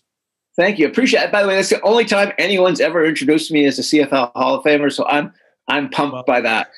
We like to give you your we like to give you your props here on the Markcast. We like to we like to do that a lot with anybody that comes on that has the credentials you have. We definitely like to give you your props. So we thank you for your time. Okay. Welcome back. Want to thank Nick and Steve for their time. Uh, of course, great talk with them, and um, it's going to be interesting to see how this uh, this this pans out.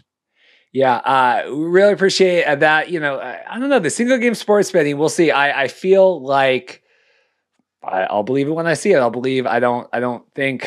I again. I, I think it's a coin toss. Yeah, I think it's. I think it's a literal coin flip if it's going to work out and and bring those bring those dollars in. Yeah. So bear with me here that we got this is a big XFL. We still got some more CFL stuff coming up. This big article came out this week. Dan Kaplan, uh, Daniel Kaplan, whatever, talking from the uh, the Athletic. Um, they're they're finalizing all the XFL bankruptcy stuff, right? Mm-hmm.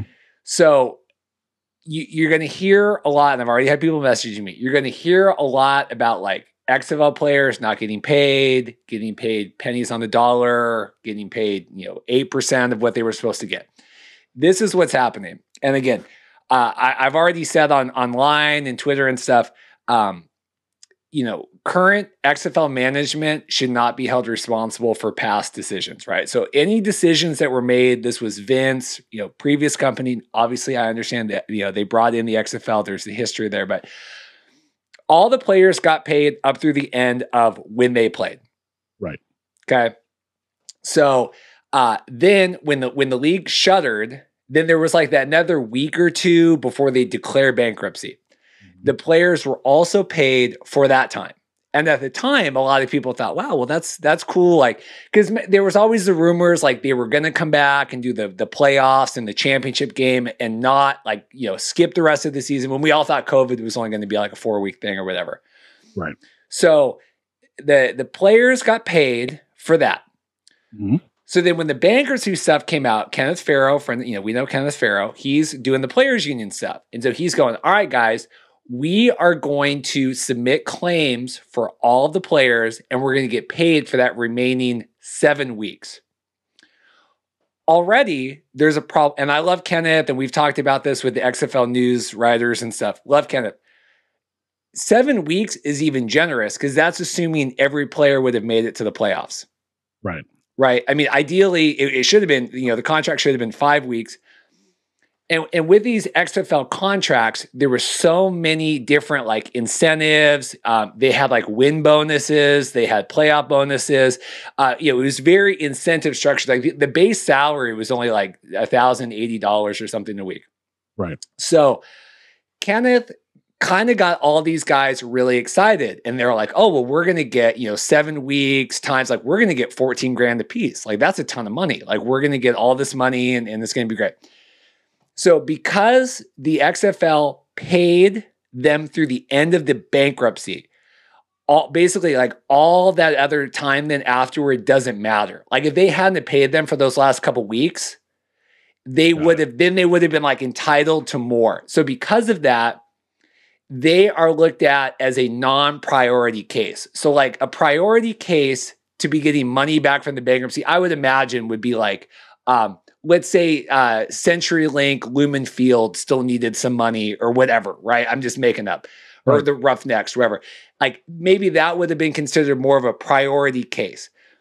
So because I'm like going back and forth, sorry, but are you following me? You're following. Yeah, yeah.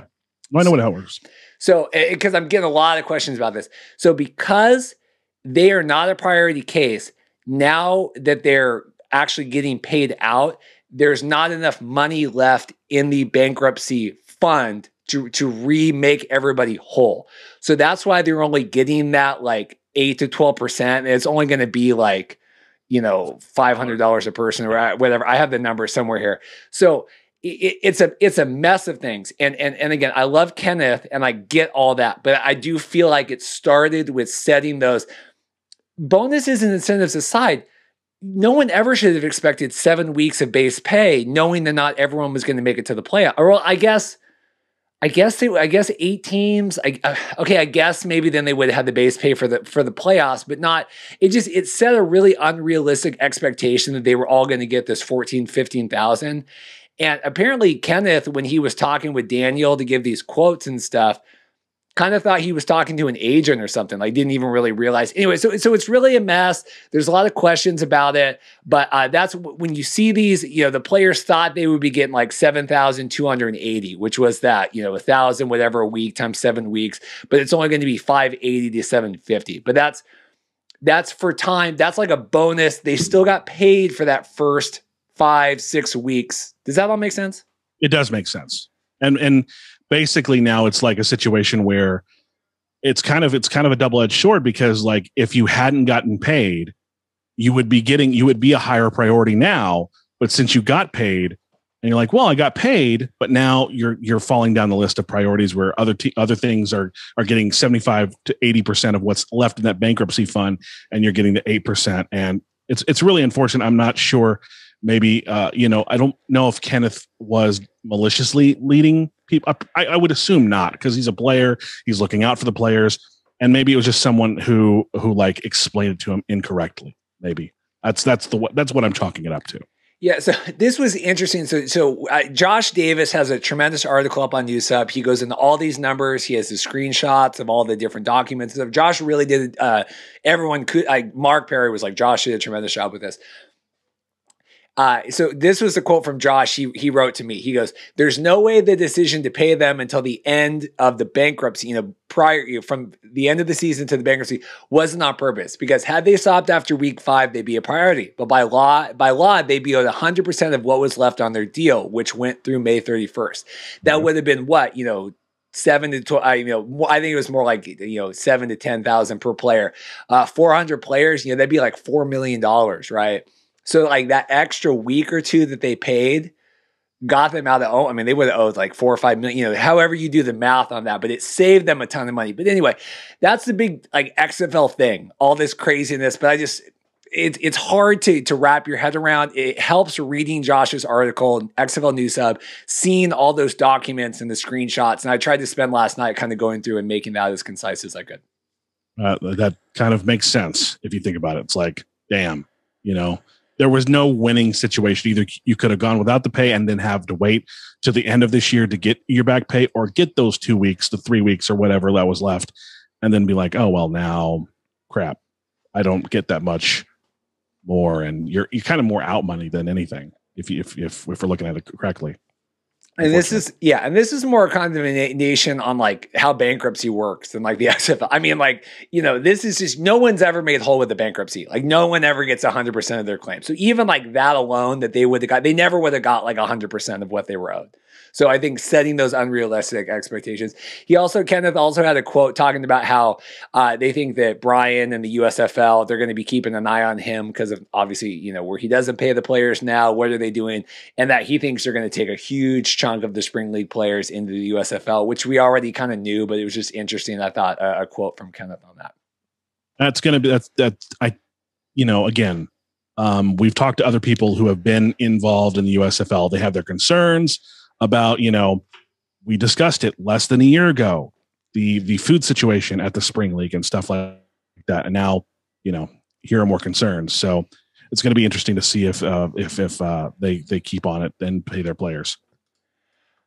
Uh, do, do we want do we want to talk about this Oreo thing? I didn't know if you had any. amazing. I thought this was amazing. By the way, this is like this was incredible. Like I saw it, I was like, oh wow, that's really freaking cool. So I'll I'll put a reminder here. I'm going to put this on the video. Uh, Sh- uh, Shea Ross of the Elks, right? He was doing this backflip, dunking the thing. this guy, I, I I feel like I got yelled at for talking on Twitter about this. Did you see? Uh, I mean. I Am I wrong? The, the idea was was that this went viral. This guy doing the backflip got like half a million views, all this stuff. And then there was all these talk like, well, this is how, you know, see, we need to be doing viral stuff. We need to be promoting the players. And we had a quote from Naylor, Dave Naylor. He goes, yes, if there were 500 guys in the league who could perform stunts like this, it would be easy to market the players. And my immediate thing to Dave was, think of do you think Marshawn Lynch can do a backflip and dunk into like you don't need I mean yes it oh. helps to do he's not saying stuff exactly like this, but you know, superhuman feats of athleticism caught on video. Maybe that's what he means. Well, I just I think that yeah, 500 players backflipping and dunking an Oreo. That's the first time I've ever seen it in my life, to be honest with you. But do you get what I'm saying? That like we don't, we can't rely on viral moments as a way to like. Well, that's the only way we can promote the players is they do weird crap that we can post on TikTok. Viral videos you don't ever know what's going to go viral until it goes viral. For example, like that that I, I hate to pump my Twitter here, but that Joaquin Phoenix video of him coming into my Joker screening. I didn't think that would go viral. I just posted a video of Joaquin Phoenix coming into the coming into the theater and talking about Joker. That got 1.6 million views in a week. So you can't like you can't just go, "Oh, this video is definitely going to be viral." It's going to definitely be viral.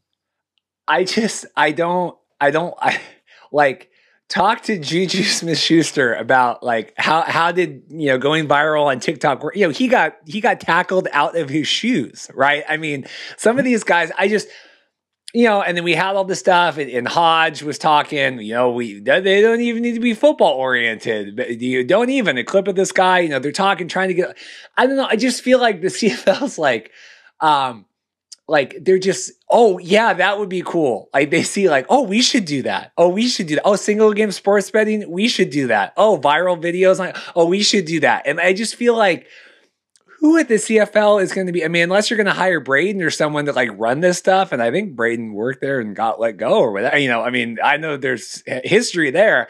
So like i just it just feels like another like oh yeah we should do that. Yeah yeah. And like I don't know. Focus on the football. Figure it out. And get a video game too while we're at it. And get a video game. Maybe, maybe. what do you know? Uh, BC Lions have filed a trademark for a new logo design. The Canadian Football Club, uh, Canadian Football League Club has created a BC design and completed the application on June, June 1st. It has to be accepted by the trademarks office, um, but it's not yet assigned to an examiner. I would assume that they'd have to clear that through the CFL as well. Yeah, well, this is remember when I uh, wasn't I think it was Jason Gregor was on and he was like BC Lions, their logos. One of our guests that we had was like the BC Lions have had the same logo for a million years. I'm like, well, here you go. They just they, no, maybe they're going to change it up. Maybe, Speaking of changing things up, maybe the BC uh, Lions were listening to our podcast. Maybe maybe Jim, possibly maybe Jim Mullin possibly. Anyway. Maybe Jim like said maybe Jim or uh, doesn't Farhan live out in that direction yeah. in BC? Yeah, yeah. Maybe maybe you know maybe you know maybe they kind of encouraged the change. I don't know. Uh, speaking of changes, uh, the uh, USPTO, Patent and Trademark Office here in the United States, has uh, issued an initial refusal of the trademark application for the Washington football team. Did you know this? What? Did you know this? I did not know this. Well, we Interesting. yeah, this is important because obviously Taylor Heinicke, XFL player, plays, and we keep an eye on Washington football. I am a Washington football fan. That is going to be my team I'm cheering for this year. But yeah, they they that is the team name it should be.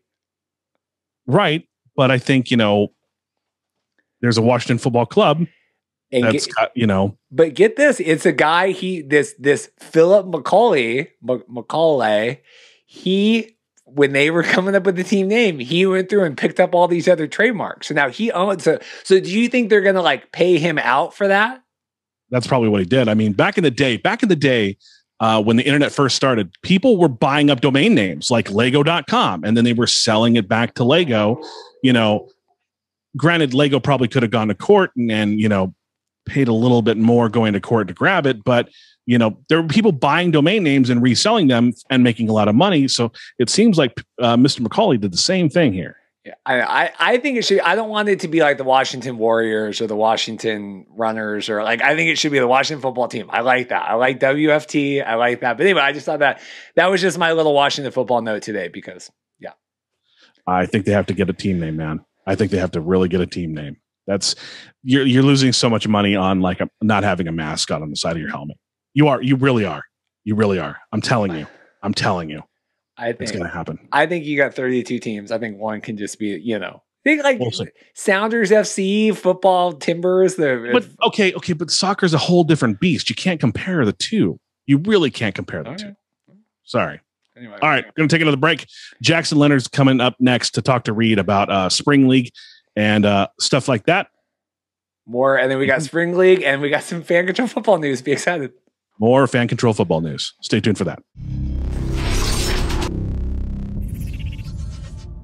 Well, Jackson, thank you so much for coming on. First and foremost, because obviously, you know, you you listen to the show, we correspond online, but also I thought this was great. I love talking to players. I love talking to players that have been part of the spring league. Why don't you first off just tell us a little bit about who you are and kind of your background? I was spending the morning kind of looking up stuff. Uh, former spring league, you did both the Vegas showcase and then you did the one in the Alamo, San Antonio Alamodome thing back in November. All right. Well, thanks first for having me, Reed. Um, I'm gonna crack it off. I don't have a Zoa here. I looked in the in the supermarket. They had Bang, so something to keep it going.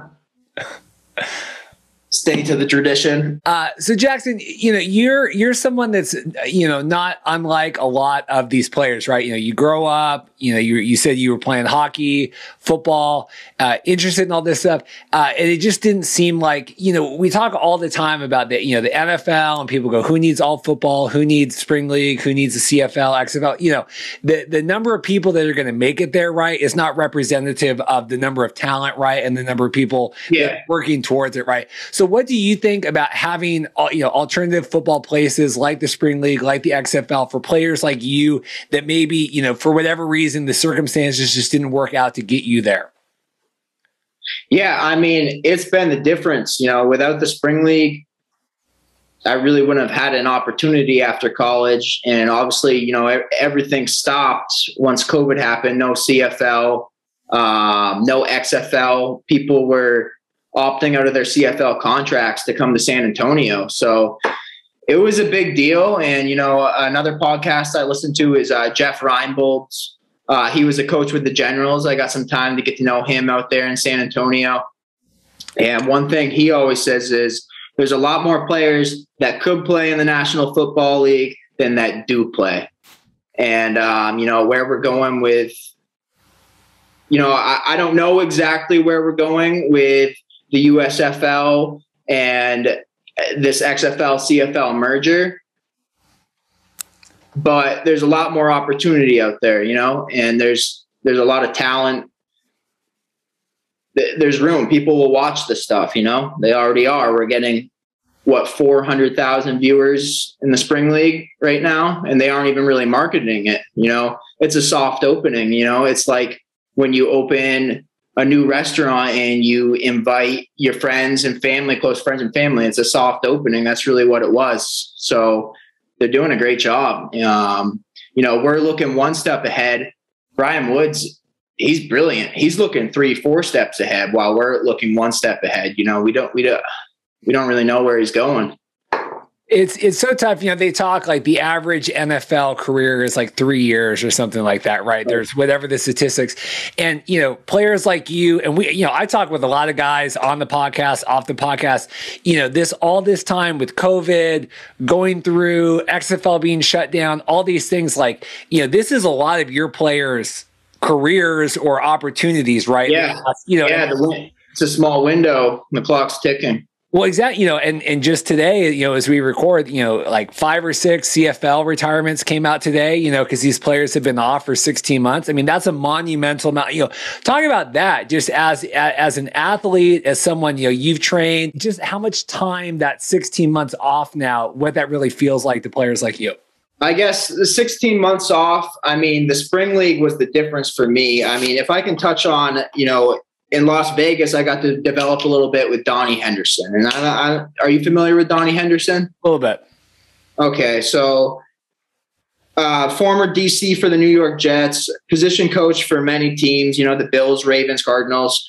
He talked about how um, he got three guys gold jackets. Um, he was the defensive backs coach when they drafted Ed Reed with the Ravens. Um, he worked with Ty Law, who also got a gold jacket, and he was the DB coach with the Bills when Stephon Gilmore got his went on to get his $65 million contract with the Patriots and helped develop him a lot. And so just being able to go out there for a couple weeks, be in the film room, and then get the reps. And it's just and you know they're better reps than I've ever gotten before.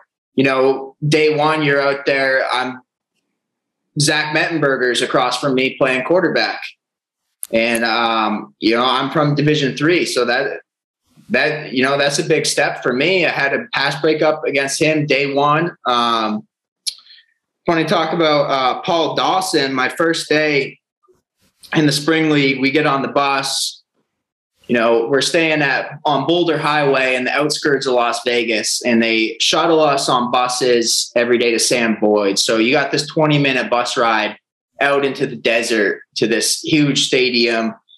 And first day, I, I get on there early, make sure I got my seat, and no one's sitting next to me. Cool, got my headphones in, getting ready. And last person to get on the bus, this big, rugged, bald headed man. And he comes up to my seat and he says, "Move over." He's got a Bengal sweatshirt across his chest. So I moved over. I asked him, you know, hey, Bengals, uh, you play for them? He's like, he started telling me a story. Paul Dawson was the number one linebacker in the country out of TCU. Was supposed to get drafted in the first round, had off the field issues, didn't end up going till the third round was a backup for Vontaze Burfict for three years. Um, and then, he, you know, was playing a lot of special teams, got released. And, you know, on day one, he was just like, hey, you know, you're, you're probably nervous, but this is just football. Just come out here and do your thing. So um, that, along with, you know, um, going to San Antonio, another chance to get some reps, some opportunities. I think one of the big things that helped me out there was – being in that film room with Jerry Glanville, um, Coach Fuller, um, you know, he, he's the head coach for the Jacksonville Sharks, but um, he came to, you know, just connect. Just like a lot of times, those coaches are there for the same reasons as players. Sometimes, you know, to make connections, move on, move up, whatever it is, or to find some players and bring them back to the National Arena League. So, um, they were running cover four, and I he told me that, and I had I got in late, so I had to learn things on the fly. And first thing Coach Fuller says, take everything you know about cover four and throw it out the window. I'm like, what? So they were doing this type of defense where uh, they they were bracketing receivers. They could pick uh, any top receiver. They could move it around in the defense, whether it was the slot, a tight end, whatever they wanted to bracket uh, in double coverage. But it changed a lot of rules, and just going from that, you know, small school playbook to uh, an NFL defense, that was the difference. You know, you like I was taking reps in the slot against Nick Holley. You know, he was a, a star in the XFL, um, competing. I got film of breakups against him, but you know, at that level, once you got to try out and make a team. Everyone's talented. It's the mental aspect that came into play, and that'll just be huge going forward. You know, um, as far as preparing, you know, when we're in a time where opportunities are limited, and it looks like in, on the horizon, you look over the hill, things are going to be starting up. You know, just being ready, knowing what you have to be ready for mentally. Um, what was your experiences like with Brian and working with him both in Vegas and then in uh, San Antonio? Yeah, so um, I didn't really talk to Brian much at all in Las Vegas. The only thing I did was at the very end of camp after the second game, I made sure I went to every single coach and thanked them for their time. And I went to Brian and just thanked him. I literally told him this was the best week of my life because it was. You know, um, being from a Division three school, I had never played or competed in a stadium like that. I mean, no, we didn't have fans. No, there weren't people there. There were scouts there. It was awesome. We had Raider scouts there, Bear scouts. Um, the Calgary Stampeder scout was there every single day, every single day. Um, just was extremely thankful. And um, moving forward to San Antonio, so I come in on that practice squad, right? And so my first interaction with him is check in and he kind of explains, you know, how things are working. The practice squad guys, we're going to be going at 7 a.m. First of four practices of the day, right? Because two teams would practice. There was at the time there were six teams, so the generals and alphas would practice after that. Um, and then the Conquerors and someone else, and then the Aviators and Blues at night. So um, just got talked to him briefly, and then I didn't initially get picked up after the showcase. Um, although on day two, I really balled out. I got I was the first kid in the whole showcase to get a pick. Um, strapped up some receivers after that on day two. Showed out on day three. Um, just didn't get picked up, you know. And um, it seemed like the showcase was primarily wide receivers and DBs. They had they had the O line and D line picked out, you know, for the most part. Um, so it was, you know, like 40 minutes of just position drills on air, jumping up, high point football, seeing your breaks, seeing you flip your hips every way. And once you were dog tired 40 minutes in, okay, it's time for one on ones. You know, who's who can compete when they're tired. And I thought that was actually a great setup for what it was. I know it wasn't what kids were expecting it to be, but the opportunity also changed. At first, when we got accept when I got accepted this thing, they didn't have a Fox Sports deal. It was going to be in Las Vegas again. So there were conflicting schedules at the Alamodome. That's another thing that I don't think people realize is how much Brian Woods was dealing with with the manager of the Alamodome who begged him to come to San Antonio and then was kind of giving him a hard time about certain things. You know, there was there was high school games on Friday nights. Um, University of San University of Texas San Antonio had a game on Saturday, so it seemed like every night the Aviators and Blues would have to practice at that high school field, which was fine. It was just a nice Texas high school field, uh, turf field. But just, you know, it, it seemed like it was, you know, he, he knew he was going into a COVID season. You didn't have everything planned out. He said, Hey, we're going to make it work. And, you know, I think at the end of the day, he had tremendous, you know, what's the word I'm looking for? He just had a lot of balls to do what he did. He, I don't know how else to put. It. Yeah, that's good. Uh, you you played with the Conquerors, right, in the spring league with uh, with Coach Glanville. What what's he like? What did you learn under Coach Glanville? Coach Glanville is a man of God. Um, you know, he would read us something from the Bible every day. Um, he doesn't get mad. Maybe he was a little crazier when he was younger, but coaching in the spring league, he doesn't get mad. He's very calm. He had a great sense of humor um, and was just really knowledgeable in the film sessions. Um, for the most part, you know, it seemed like the offensive coordinator, the defensive coordinator were running practice. He kind of was just, you know, how like a lot of head coaches do. They, you know, they they're just kind of watching and you know coming in when they when they need to to address things. But um, man, just realizing because because they announced the spring league announced on Instagram who all these coaches were, but we only found out about the head coaches. So I didn't necessarily know who everyone was when I first got there, but just in hindsight, the research I've done, like I was playing for Jerry Glanville, who coached Deion Sanders for three years in Atlanta when De- when Deion was fresh in the NFL, and you know, I didn't. I knew that like when you looked him up, it seemed like most of his hype came from the Houston Oilers. But the more I did research and just realized I was actually playing for the head coach of my idol, you know, it's crazy. What do you make of all this USFL stuff now with Brian and the relaunch? I mean, it's funny to me, you know, he was on prior to this spring league season kind of outlined a lot of this, right? Kind of mm-hmm. said, hey, you know, we're going to do this with the hub cities and build. You know, then obviously the announcements come out. A lot of people think, oh, um, you know, they're going to eight cities next year or they're going to 10 cities. And I go, well, you know, I think it's going to be somewhere in between, right? What, what do you make of all this USFL stuff?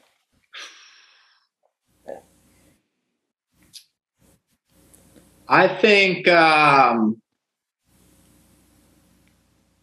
I think he he he's got the best you know shot. Like I mean, he's got the grassroots. He knows who everyone who wants to play football, everyone who's ever played in the spring league. He he knows everyone. You know, you try to compare it to this XFL CFL merger. I I, I get that The Rock and uh, Dany Garcia they got the money and stuff, but Brian Woods has been in the trenches he's he's been doing this. He's he's been dealing with you know so many things thrown at him. For example, you know I was following him around a little bit in between the showcase and getting picked up by a team. I mean, the calls from coaches, you know, hey Brian, I haven't gotten my check yet. Well, hey coach, I mean, you were on the Jousters, the last team to be assembled the bank won't write you your check yet because they haven't processed your W 2. Stuff that makes perfect sense. You know, when you start a new job, a lot of times you don't get that paycheck till the end of the second week. Um, meanwhile, five minutes later, the rink manager wants to have a fight with Brian Woods about schedules. Um, he's getting phone calls left and right. There's just so many things that he's the perfect one to deal with, and he never bats an eye. He never bats an eyelash. You know, he, straight faced. I mean, he just takes it all on. And uh, are you, in terms of potential future playing, are you are you are we kind of transitioning out of football? Are you looking at something like the USFL to you know continue? Are yeah. you for more spring league? What are you, what are you looking for? I'd like to get back into the spring league. I, I just I loved playing there. Obviously, I'd love an opportunity in the CFL, maybe to play with my brother Sherrod Baltimore uh, up in Ottawa, and I have uh, some scouts that uh, you know follow me, keep tabs on me on uh, Instagram, my workouts and stuff. Um, but um, I I went to a showcase actually called uh, with an agency called Black Diamond um, in March, and after that, I was planning on uh, going to um, the the ANC that the Spring League was doing. And I actually ended up in one on ones down there, laying out for a ball with a receiver. And um, we hit the goalpost, and the goalpost didn't have a pad on it. And so I got a bone bruise on my shin, and I didn't. I, I played the rest of the showcase on heart. You know, I, I just finished it. You know, I it didn't stop me from running and stuff. But then the ANC was the next week after that. And I just, you know, like I was like, they have tabs on me. I got a player grade at the showcase. I've already been on a roster. If I don't think I'm going to run well right now because of this bone bruise, maybe I should just heal up and see if I get an opportunity. And I have uh, like numbers for over half the head coaches in the spring league. Like I was in contact with them. Um, I've actually talked to Coach Fuller about um, you know, he had some guys get injured week one with the Sharks. So um, going to get some opportunity, just getting some reps, some more time to develop in either the now or um, possibly with the Massachusetts Pirates. They have a talented roster down there um, in Massachusetts. Actually, almost all those guys have former NFL experience. So hopefully, just um, catch on with an AL team or an IFL team. Um, if not, you know, maybe the USFL will be popping up with some showcases or the spring league, you know, they utilize the spring league, like I think we talked about in the emails. Um, and I'll be ready to go just to come out and compete. That sounds good. Uh, well, you've been so gracious with your time today. I, I, really appreciate you know the interactions we've had back and forth online, and just you know uh, obviously sharing your story and, and, hearing more players you know benefiting from you know these alternate football things. Uh, Jackson, thank you so much for taking your time today. I really appreciate it. Thanks for having me, Reed. Um, looking forward to more episodes and uh, you know things opening up again with COVID. So uh, interesting content and um, wish you guys the best. Awesome. Thanks, man. Welcome back. Welcome back. Thank you, Jackson. Thank you, Jackson. That was I appreciate him. To, you know, again, uh, if you're a like a spring league player, you know, reach out. I'll, well, that's fine. I, I I work from home. I do. I interview random wedding vendors all the time for my other podcast, so I can you, interview random spring league players. it's over now. Spring League is over now. You don't have to go through your immediate contacts to get a hold of us. You didn't have to do that before, but well. Oh, I got a rant here in a second. Yeah. Well, we'll leave, we'll leave it a go. Uh, Conquerors wide receiver and 2021 co-leader in the spring league and receptions, Michael Bandy has signed with the Chargers. Uh, he was at the Conquerors in uh, 2020 and 2021. So congrats to him for getting on an NFL squad. Yeah, congrats. Uh, we had the big Mega Bowl. Uh, you know, obviously Linemen won. Uh, I had to work, so sorry. It was a, tremendous game. That you know, Luis Perez threw a game-ending interception like the six-yard line. It was a very tremendous game. Uh, congrats to Stan. You know, Cole Boozer's no longer on. He's on his way up to the Alouettes. But uh, Ryan Willis was the QB, uh, MVP. You know, Ryan Willis with, with the. He played the whole year under Hal Mumme. Here's my problem right after the spring league, uh, the Mega Bowl came out. Uh, spring league email. They go, hey, like here's the press release, all this stuff. If you want to talk to Brian Woods, CEO, Hal Mumme or Ryan Willis, let us know. We'll set it up. I go, perfect. We'll talk to Ryan later. That's fine. I go, I would really, we'd really like to obviously talk to Brian Woods again, a friend of the show, and then we like to talk to Coach Mumme That would be great. Perfect. No problem. You know, email. So that was Saturday. Email Monday, nothing. Email Tuesday. Oh, uh, yeah. Sorry. Brian's not doing any interviews. Not just you. He's not doing any interviews. I'm working on Coach Mumme. Perfect. Okay. I go, we all, you know, then we'd also like, could we get Ryan Willis instead then? Cause I, you know, I didn't want to be greedy and ask for all three. It's still nothing. You know, we're, we're Thursday here. I'm like, guys, if you're going to offer media availability, then do it or just don't offer it. Like, don't offer it then. I don't care. But I emailed you guys four times about it. Don't put it out there. And he's like, yeah, sorry for the confusion, Brian's. I'm like, okay, well, the press release said if you would like to talk to Brian Woods, please do whatever. That's my whole problem with the spring league this year. And if it's going to be the same thing with the USFL, I'm really getting tired of it already because, you know, we have uh, our listeners would have loved to hear from Coach Mumme. you know, XFL mm-hmm. guy. We don't even need to talk about that. Talk about the spring league, talk about all this stuff. But, um, anyway, just infuriating. Uh, but that's why we have no spring league. We have Jackson Leonard. Thankfully, he came on. But yeah, they uh, waste our time with this. Like, it's crazy.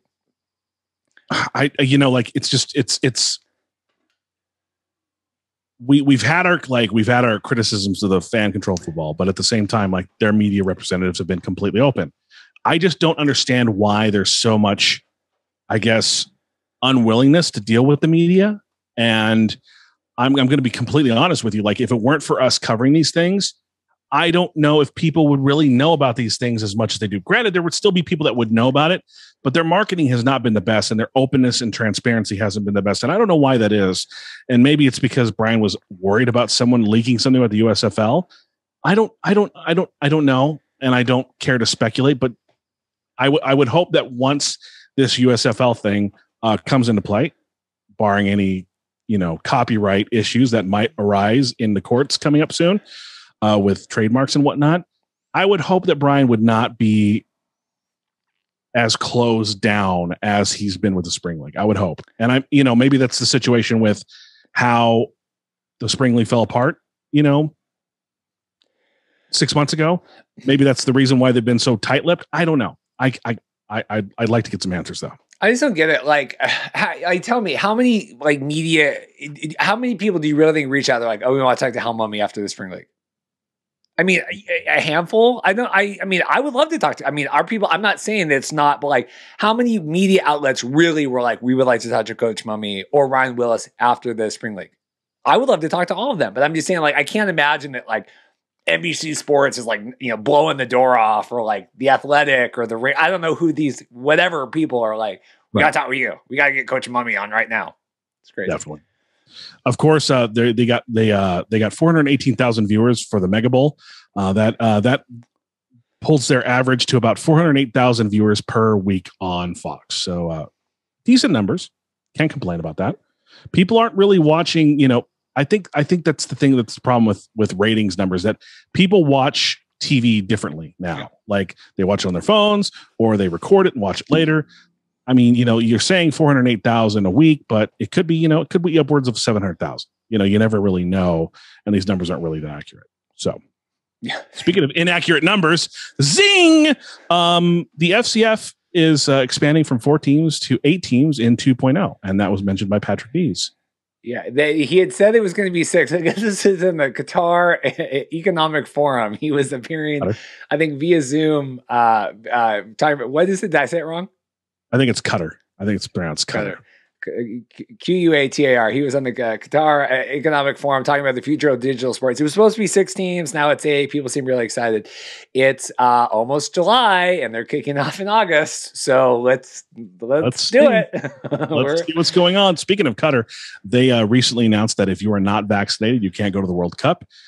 Um, I still can't believe they're holding a World Cup there. It's going to be really flipping hot. It's going to be really flipping hot. yeah, that's crazy. So That's all I got today, Paul. Uh, I have one note before we go. I was going to mention at the top of the show. Uh, I might do okay if we want elf. I'm not a big elf guy. The European League of Football. I it's really hard to cover. People are watching on YouTube and stuff. If you want elf coverage, leave a comment on the YouTube video. Say, "Really, we want elf coverage." I'll do like I'll bring on Vince from Alt Football, or I'll bring on Josh or someone. I'll do that. Paul, I won't, bore, you know, burden with it with the elf coverage. But if you really want elf, you got to drive that YouTube algorithm. So comment on the video, say we want elf coverage, and we will see what we can do with that. I also saw that you deleted the thing about the NCAA. Did you Uh, want to talk about that? I was trying not to hold you too long. c- congrats to the uh, the athletes who you know they've won a little bit of uh, something there. They've won a little bit of a win in the Supreme Court by uh, you know the the idea of that getting more than uh, getting more than what they're owed basically from their colleges. So we want to congratulate uh, the athletes on a big win. They could have gone a little bit further, but uh, now it's going to be interesting to see how how players are going to start making more money when your colleges are basically making billions of dollars off your image and the NCAA has been corrupt for a long time, and uh, you know I've I've stood by that, and I'm glad now. Um, of course, what started this whole mess was you went and picked up an NCAA uh, basketball game, for example. Specifically, the the episode that I'm talking about is you pick up these NCAA games on from EA Sports, and you pay, play these uh, historic recreations. Like, can you duplicate UCLA's comeback in such and such year? And I'm saying UCLA because what would happen is you would play as UCLA and you would be small forward number 31 i believe that was his number. I'm completely uh completely you know draw uh picking at straws here but let me let me double check and make sure. Um he was 31 you play as uh ucla player number 31 and it would have all of all of someone's stats specifically height weight so and so but it would say uh small forward number 31 and ed o'bannon was like that's me. Even though you're not using my name you're using Yeah. every single one of my stats. You're still using my likeness. So ed o'bannon sued and they won and then ea pulled all their ncaa products off the table because they didn't know how to pay the athletes for using their likenesses. And you know like i've talked about it numerous times here where it's like when I used to work in Tucson, you'd go to the stadium and, and buy a jersey that would say Arizona. It was like an Arizona football jersey. The name wasn't on the back, but the number was on the back. And you're like, well, I know I'm buying Willie Tuitama's number. Even though I'm not buying the name on the back, I'm buying the number that that represents his likeness. So it's it's a big win, and I'm hoping that you know this leads to this this phony amateurism going out the door, and these players really making some money. So I'm I'm I'm glad on that. I'm going to end my rant there. That's good. Uh, Josh McGee, friend of the show, he was on Argos fan. He just sent me a list. I'll tell you, like and subscribe. Uh, We got a. It sounds like we got a good giveaway coming up. He just messaged me stuff. He's mailing you a package, and I think we are going to have uh, maybe some stuff for you. But then also, I think we'll have plenty. It sounds like we'll have plenty of stuff for giveaways. So uh, please like and subscribe if you are a Markcast fan or a um, an Argos fan. Sounds like we got. I, I tell you, tremendous stuff coming up. So be excited about that. Looking forward to the treasure trove heading my way, I guess. It's heading my direction Yeah. for once instead of yours. Interesting. Want to thank everybody for tuning in. Of course, please like, subscribe the video, uh, get notifications as well. Please hit that bell, get the notifications. Can't say that enough. And of course, Reed, you know, works a bunch of time on this. This uh, works works a bunch of hours on this podcast. So again, uh, head over to our offers page, uh, and you know, buy a razor for Manscaped. Can't say that enough. The code is Markcast. You get twenty percent off free shipping. Why not? Why not? Thanks for tuning in. We'll see you next week. Thanks.